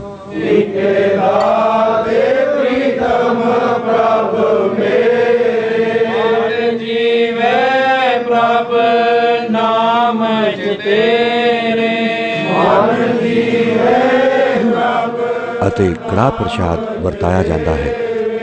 ਇਸ ਦੌਰਾਨ ਦਰਸ਼ਨੀ ਡਿਉੜੀ ਦੇ ਕਿਵਾੜ ਖੁੱਲਣ ਦੇ ਸਮੇਂ ਤੋਂ ਪਹਿਲਾਂ ਹੀ ਪ੍ਰੇਮੀ ਸੰਗਤਾਂ ਡਿਉੜੀ ਅੱਗੇ ਆ ਬੈਠਦੀਆਂ ਹਨ ਅਤੇ ਬੜੀ ਸ਼ਰਧਾ ਨਾਲ ਕਿਵਾੜ ਖੁੱਲਣ ਦੀ ਉਡੀਕ ਕਰਦੀਆਂ ਹੋਈਆਂ ਸੁਖਮਣੀ ਸਾਹਿਬ ਦਾ ਪਾਠ ਕਰਨ ਤੋਂ ਬਾਅਦ ਪ੍ਰੇਮ ਸਹਿਤ ਜੋਟੀਆਂ ਵਿੱਚ ਸ਼ਬਦ ਗਾਇਨ ਕਰਦੀਆਂ ਹਨ।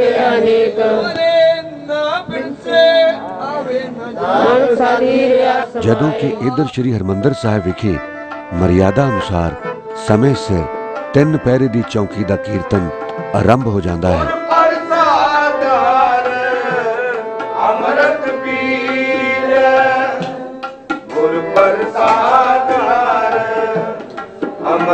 ਪੀਲੇ ਤੋ ਜਨ ਜਨ ਕੀ ਵਾਟ ਨ ਪਾਈਐ ਤਿੰਨ ਪਹਿਰੇ ਦੀ ਇਸ ਚੌਂਕੀ ਦੇ ਕੀਰਤਨ ਦੌਰਾਨ ਮੌਸਮ ਮੁਤਾਬਕ ਅੰਮ੍ਰਿਤ ਵੇਲੇ ਦੇ ਨਿਰਧਾਰਿਤ ਸਮੇਂ ਤੇ ਕਿਵਾੜ ਖੋਲ ਦਿੱਤੇ ਜਾਂਦੇ ਹਨ।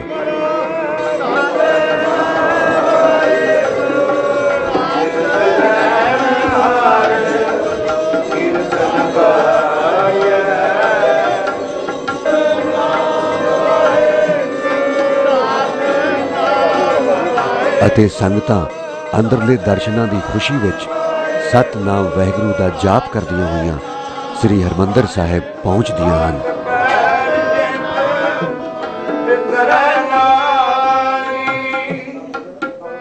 ਸੰਤ ਬਾਬਾ ਸ਼ਾਮ ਸਿੰਘ ਜੀ ਦੀ ਸ਼ੁਰੂ ਕੀਤੀ ਹੋਈ ਇਹ ਤਿੰਨ ਪਹਿਰੇ ਦੀ ਚੌਕੀ ਹਰ ਦਿਨ 1 ਘੰਟਾ ਕੀਰਤਨ ਕਰਦੀ ਹੈ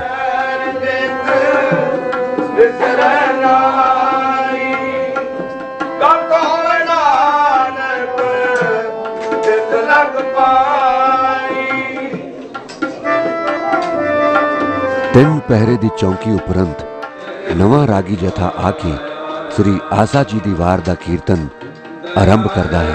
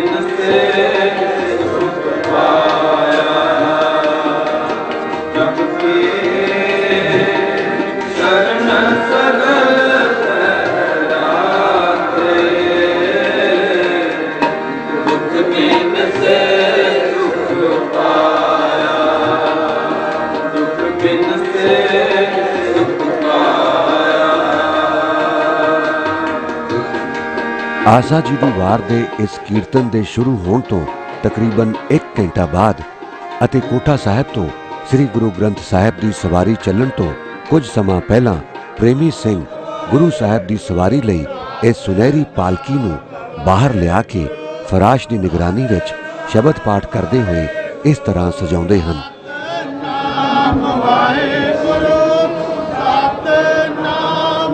ਪਾਲਕੀ ਦੀ ਸਜਾਵਟ ਪੂਰੀ ਹੋ ਜਾਣ ਤੋਂ ਬਾਅਦ ਪ੍ਰੇਮੀ ਸੰਗਤਾਂ ਪਾਲਕੀ ਨੂੰ ਸ੍ਰੀ ਅਕਾਲ ਤਖਤ ਸਾਹਿਬ ਦੇ ਸਾਹਮਣੇ ਲੈ ਆਉਂਦੀਆਂ ਹਨ। ਅਤੇ ਇਸ ਤਰ੍ਹਾਂ ਸਾਰੀ ਸੰਗਤ ਖੜੀ ਹੋ ਕੇ ਗੁਰੂ ਸਾਹਿਬ ਦੇ ਦਰਸ਼ਨਾਂ ਦੀ ਤਾਂਗ ਵਿੱਚ ਬੜੀ ਸ਼ਰਧਾ ਨਾਲ ਸਤਨਾਮ ਵਾਹਿਗੁਰੂ ਦਾ ਜਾਪ ਕਰਦੀ ਹੈ।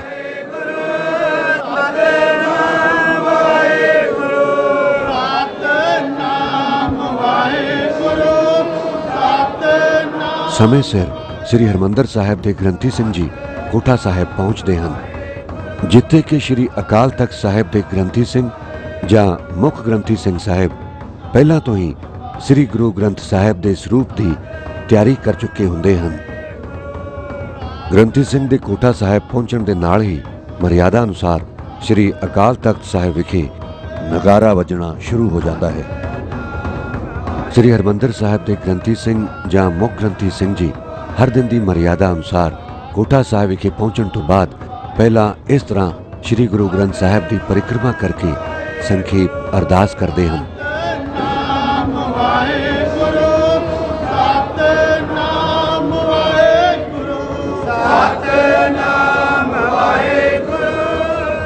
ਅਤੇ ਫਿਰ ਸ੍ਰੀ ਗੁਰੂ ਗ੍ਰੰਥ ਸਾਹਿਬ ਨੂੰ ਆਪਣੇ ਸ਼ੀਸ਼ ਤੇ ਰਖਵਾ ਕੇ ਬਾਹਰ ਉਡੀਕ ਰਹੀ ਪਾਲਕੀ ਵੱਲ ਰਵਾਨਾ ਹੋ ਜਾਂਦੇ ਹਨ।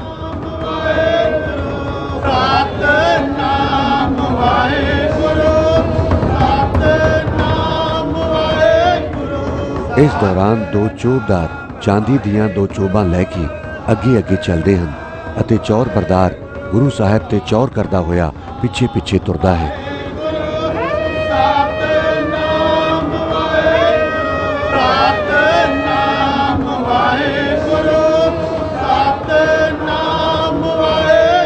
ਪਾਲਕੀ ਕੋਲ ਪਹੁੰਚਣ ਤੋਂ ਬਾਅਦ ਗ੍ਰੰਥੀ ਸਿੰਘ, ਫਰਾਸ਼ ਅਤੇ ਚੌਰ ਬਰਦਾਰ ਤਿੰਨੇ ਹੀ ਬੜੇ ਸਤਕਾਰ ਨਾਲ ਸ੍ਰੀ ਗੁਰੂ ਗ੍ਰੰਥ ਸਾਹਿਬ ਨੂੰ ਪਾਲਕੀ ਵਿੱਚ ਸੁਸ਼ੋਭਿਤ ਕਰਦੇ ਹਨ ਅਤੇ ਫਿਰ ਪਾਲਕੀ ਗੁਰੂ ਸਾਹਿਬ ਦਾ ਪਾਵਨ ਸਰੂਪ ਲੈ ਕੇ ਸ੍ਰੀ ਹਰਮੰਦਰ ਸਾਹਿਬ ਵੱਲ ਰਵਾਨਾ ਹੋ ਜਾਂਦੀ ਹੈ। ਪ੍ਰੇਮੀ ਸੱਜਣ, ਵਾਰੀ-ਵਾਰੀ ਪਾਲਕੀ ਨੂੰ ਮੋਢਾ ਦੇਣ ਦੀ ਸੇਵਾ ਦਾ ਸੁਭਾਗ ਪ੍ਰਾਪਤ ਕਰਦੇ ਹੋਏ ਦਰਸ਼ਨੀ ਡਿਊੜੀ ਵੱਲ ਵਧਦੇ ਹਨ ਅਤੇ ਪਾਲਕੀ ਦੇ ਦਰਸ਼ਨੀ ਡਿਊੜੀ ਵਿੱਚ ਦਾਖਲ ਹੋਣ ਤੋਂ ਬਾਅਦ ਨਗਾਰਾ ਵੱਜਣਾ ਬੰਦ ਹੋ ਜਾਂਦਾ ਹੈ। ਇਸ ਤਰ੍ਹਾਂ ਪੁਲ ਦੇ ਉੱਪਰ ਦੀ ਹੁੰਦੀ ਹੋਈ ਪਾਲਕੀ ਸ੍ਰੀ ਹਰਮੰਦਰ ਸਾਹਿਬ ਦੇ ਦਵਾਰ ਕੋਲ ਪਹੁੰਚ ਕੇ ਰੁਕ ਜਾਂਦੀ ਹੈ। ਗ੍ਰੰਥੀ ਸਿੰਘ ਸਾਹਿਬ ਫਰਾਸ਼ ਤੇ ਚੌਰ ਬਰਦਾਰ ਦੀ ਮਦਦ ਨਾਲ ਸਤਕਾਰ ਸਹਿਤ ਸ੍ਰੀ ਗੁਰੂ ਗ੍ਰੰਥ ਸਾਹਿਬ ਨੂੰ ਆਪਣੇ ਸ਼ੀਸ਼ ਤੇ ਰਖਵਾ ਕੇ ਸ੍ਰੀ ਹਰਮੰਦਰ ਸਾਹਿਬ ਵਿਖੇ ਪ੍ਰਵੇਸ਼ ਕਰਦੇ ਹਨ।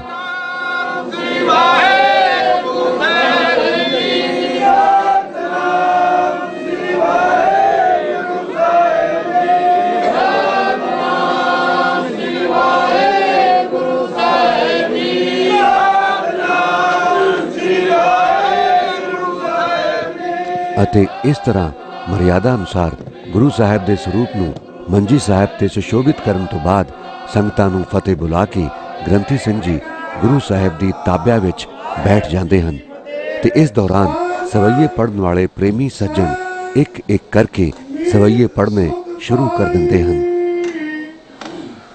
ਜਿਸ ਦੌਰਾਨ ਸ੍ਰੀ ਗੁਰੂ ਗ੍ਰੰਥ ਸਾਹਿਬ ਦੇ ਪ੍ਰਕਾਸ਼ ਦੀ ਤਿਆਰੀ ਆਰੰਭ ਹੋ ਜਾਂਦੀ ਹੈ, ਜਿਸ ਵਿੱਚ ਫਰਾਸ਼ ਤੇ ਚੌਰ ਬਰਦਾਰ ਦੋਨੋਂ ਹੀ ਗ੍ਰੰਥੀ ਸਿੰਘ ਦੀ ਮਦਦ ਕਰਦੇ ਹਨ। ਕਾਵਨ ਕੂਰ ਕਮਾਵਨ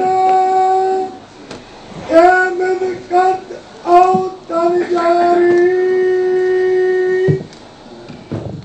ਇਸ ਤਰ੍ਹਾਂ ਵੱਖ-ਵੱਖ ਪ੍ਰੇਮੀ ਸੱਜਣਾ ਦੇ ਸਵਈਏ ਪੜਨ ਦੇ ਦੌਰਾਨ ਗ੍ਰੰਥੀ ਸਿੰਘ ਬਹੁਤ ਹੀ ਸਤਕਾਰ ਨਾਲ ਮਰਿਆਦਾ ਤੇ ਵਿਧੀ ਅਨੁਸਾਰ ਸ੍ਰੀ ਗੁਰੂ ਗ੍ਰੰਥ ਸਾਹਿਬ ਦੇ ਪ੍ਰਕਾਸ਼ ਦੀ ਤਿਆਰੀ ਕਰਦੇ ਹੋਏ ਚਾਦਰਾਂ ਅਤੇ ਰੁਮਾਲਿਆਂ ਨੂੰ ਇਸ ਤਰ੍ਹਾਂ ਇਤਰ ਵਿੱਚ ਭਿੱਜੇ ਹੋਏ ਰੂਹ ਦੇ ਫੰਬੇ ਰਾਹੀਂ ਸਹਿਜੇ ਸਹਿਜੇ ਇਤਰ ਵੀ ਲਗਾਉਂਦੇ ਰਹਿੰਦੇ ਹਨ।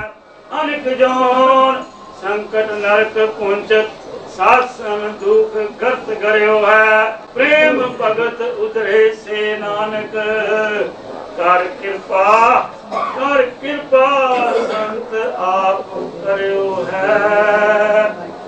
ਗੁਰੂ ਗੁਰ ਗੁਰੂ ਗੁਰ, ਗੁਰੂ ਜਪ ਪ੍ਰਾਨਿਓ, ਜੋਤ ਸਭ ਸੁਖ, ਇਤ ਉਤ ਤੁਮ ਬੰਛਵੋ ਹੁਕਮ ਦੇ ਬੰਦੇ ਕੋ ਜਟੁਆ, ਬਿਨ ਹਰ ਭਜਨ ਸਗਲ ਦੁਖ ਪਾਵਤ ਜੋ ਪ੍ਰੇਮ ਬਢਾਏ ਸੂਤ ਕੇ ਹਟੂਆ। ਪੂਜਾ ਚਕਰ ਕਰ ਸੋਂਪਾ ਕਾ। ਪੂਜਾ ਚਕਰ ਕਰ ਸੋਂਪਾ ਕਾ ਅਨਕ ਭਾਂਤ ਧਾਟੇ ਕਰ ਖਟੁਆ ਗੁਰੂ ਸਮਰੱਥ ਗਏ ਕਰਿਆ। ਪ੍ਰਭੂ ਸਮਤ ਸਮਾਰਨ ਕੋ ਹੁਣ ਧਰਮ ਧੁਜਾ ਹੈ ਰੰਤ ਸਦਾ। ਅਗ ਪੁੰਜ ਤਰੰਗ ਨਿਵਾਰਨ ਕਉ ਮਧੁਰਾ ਜਨ ਚਾਨ ਕਹੀ ਜੀਏ ਸਾਚ।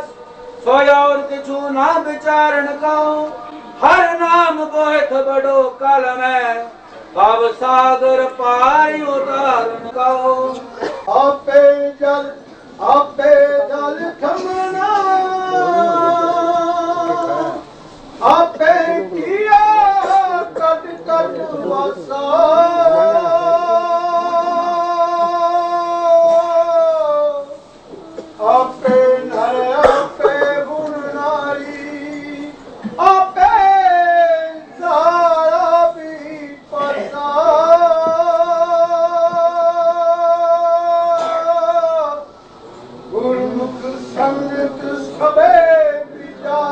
ਸਵਈਏ ਸੰਪੂਰਨ ਹੋਣ ਦੇ ਨਾਲ ਹੀ ਪ੍ਰਕਾਸ਼ ਦਾ ਸਮਾਂ ਹੋਣ ਤੇ ਸਾਰੀ ਸੰਗਤ ਪ੍ਰੇਮ ਤੇ ਸ਼ਰਧਾ ਨਾਲ ਸ਼ਬਦ ਗਾਇਨ ਕਰਦੀ ਹੈ।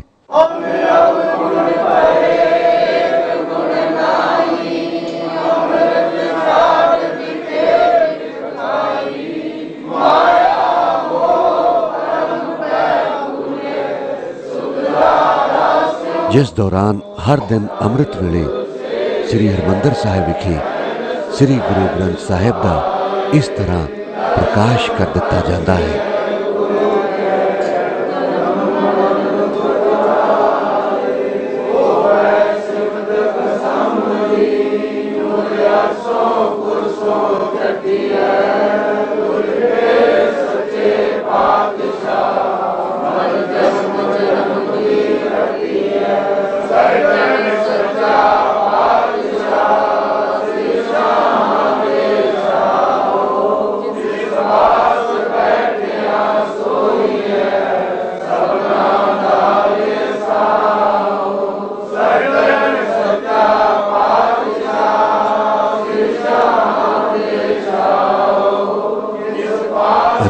ਪ੍ਰਕਾਸ਼ ਉਪਰੰਤ ਮਰਿਆਦਾ ਅਨੁਸਾਰ ਗ੍ਰੰਥੀ ਸਿੰਘ ਜੀ ਪ੍ਰੇਮੀ ਸੰਗਤਾਂ ਨੂੰ ਹੁਕਮਨਾਮਾ ਸ਼ਰਵਣ ਕਰਵਾਉਂਦੇ ਹਨ। ਸਤਨਾਮ।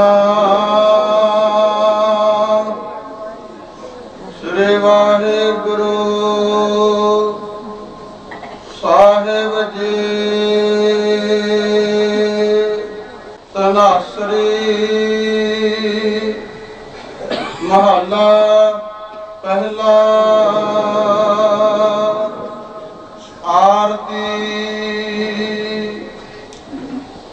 ਓੰਕਾਰ।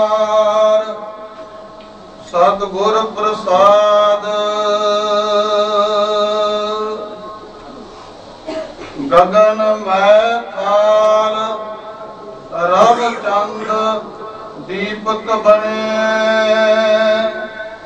ਤਾਰਕਾ ਮੰਡਲ ਜਨ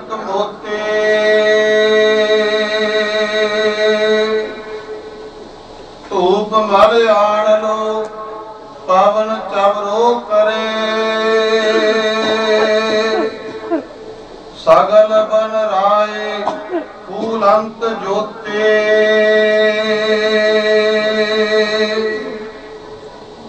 ਗਗਨ ਮੈਂ ਕਾਲ ਰਬ ਚੰਦ ਦੀਪਕ ਬਣੇ। ਤਾਰਕਾ ਜਨਕ ਮੋਤੇ ਧੂਪ ਮਾਲ ਆਣ ਲੋ, ਪਵਨ ਚਵਰੋ ਕਰੇ। ਸਗਲ ਬਣ ਰਾਏ, ਫੂਲ ਅੰਤ ਜੋਤੇ। ਕੈਸੀ ਆਰਤੀ ਹੋਏ, ਭਵ ਖੰਡਨਾ ਤੇਰੀ ਆਰਤੀ। ਅਨਹਤਾ ਸ਼ਬਦ ਬਾਜੰਤ ਭੇਰੀ। ਰਹਾਉ ਅੰਮ੍ਰਿਤ ਵੇਲੇ ਦੇ ਇਸ ਹੁਕਮਨਾਮੇ ਤੋਂ ਬਾਅਦ ਰੋਹਾਨੀਅਤ ਦੇ ਇਸ ਪਰਮ ਸਰੋਤ ਵਿਖੇ ਪਾਵਨ ਰੱਬੀ ਬਾਣੀ ਦੀਆਂ ਰੂਹਾਨੀ ਤਰੰਗਾਂ ਸਾਰੇ ਵਾਤਾਵਰਣ ਨੂੰ ਅੰਮ੍ਰਿਤ ਬਾਣੀ ਦੇ ਅਲੌਕਿਕ ਰਸ ਨਾਲ ਨਿਰੰਤਰ ਅੰਮ੍ਰਿਤਮਈ ਬਣਾਉਂਦੀਆਂ ਰਹਿੰਦੀਆਂ ਹਨ। ਨਾਮ। ਵਾਹਿਗੁਰੂ।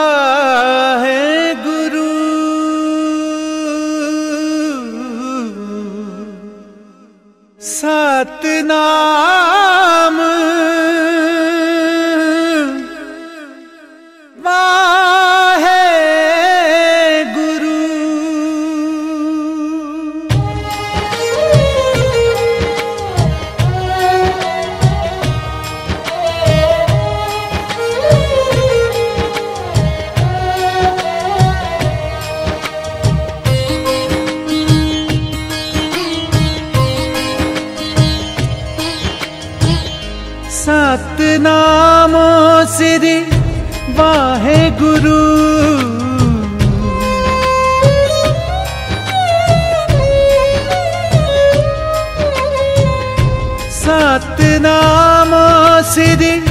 ਵਾਹਿਗੁਰੂ। ਸਤਨਾਮ ਸ੍ਰੀ ਵਾਹਿਗੁਰੂ। ਵਾਹਿਗੁਰੂ ਵਾਹਿਗੁਰੂ ਵਾਹਿਗੁਰੂ। ਵਾਹਿਗੁਰੂ ਵਾਹਿਗੁਰੂ ਵਾਹਿਗੁਰੂ। ਸਤਨਾਮ ਸ੍ਰੀ ਵਾਹਿਗੁਰੂ।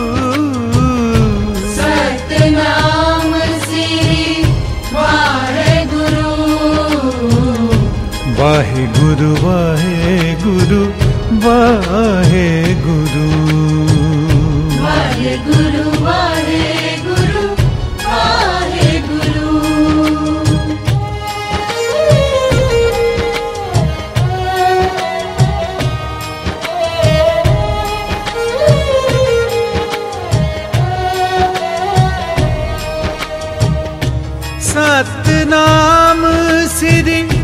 ਵਾਹਿਗੁਰੂ।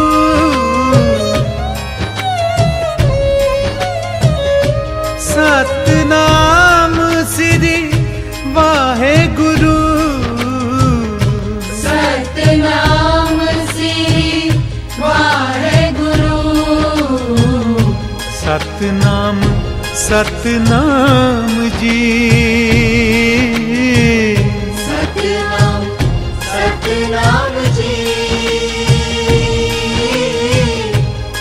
ਵਾਹਿਗੁਰੂ ਵਾਹਿਗੁਰੂ ਜੀ।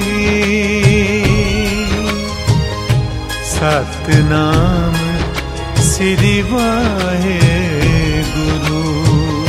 ਸਤਨਾਮ ਸ੍ਰੀ ਵਾਹਿਗੁਰੂ। ਸਤਨਾਮ ਸ੍ਰੀ ਵਾਹਿਗੁਰੂ। ਸਤਨਾਮ ਸਤਨਾਮ ਜੀ। ਵਾਹਿਗੁਰੂ ਵਾਹਿਗੁਰੂ।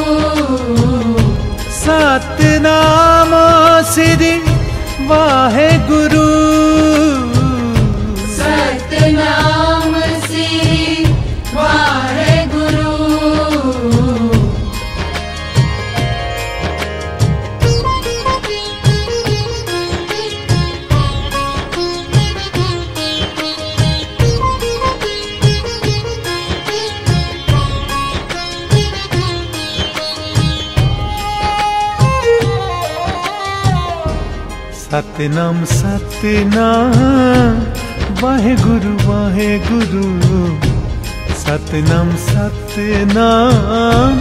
ਵਾਹਿਗੁਰੂ। ਸਤਨਾਮ ਸਤਨਾਮ। ਵਾਹਿਗੁਰੂ ਵਾਹਿਗੁਰੂ। ਸਤਨਾਮ ਸਤਨਾਮ। ਵਾਹਿਗੁਰੂ। ਸਤਨਾਮ ਸਤਨਾਮ। वाहे गुरु वाहे गुरु। सतनाम नाम मंगल ढिलोन चैनल, एक ऐसा चैनल जो आपका जीवन बदल सकता है, जैसे अब तक बहुतों का जीवन बदल चुका है। मंगल ढिलोन चैनल।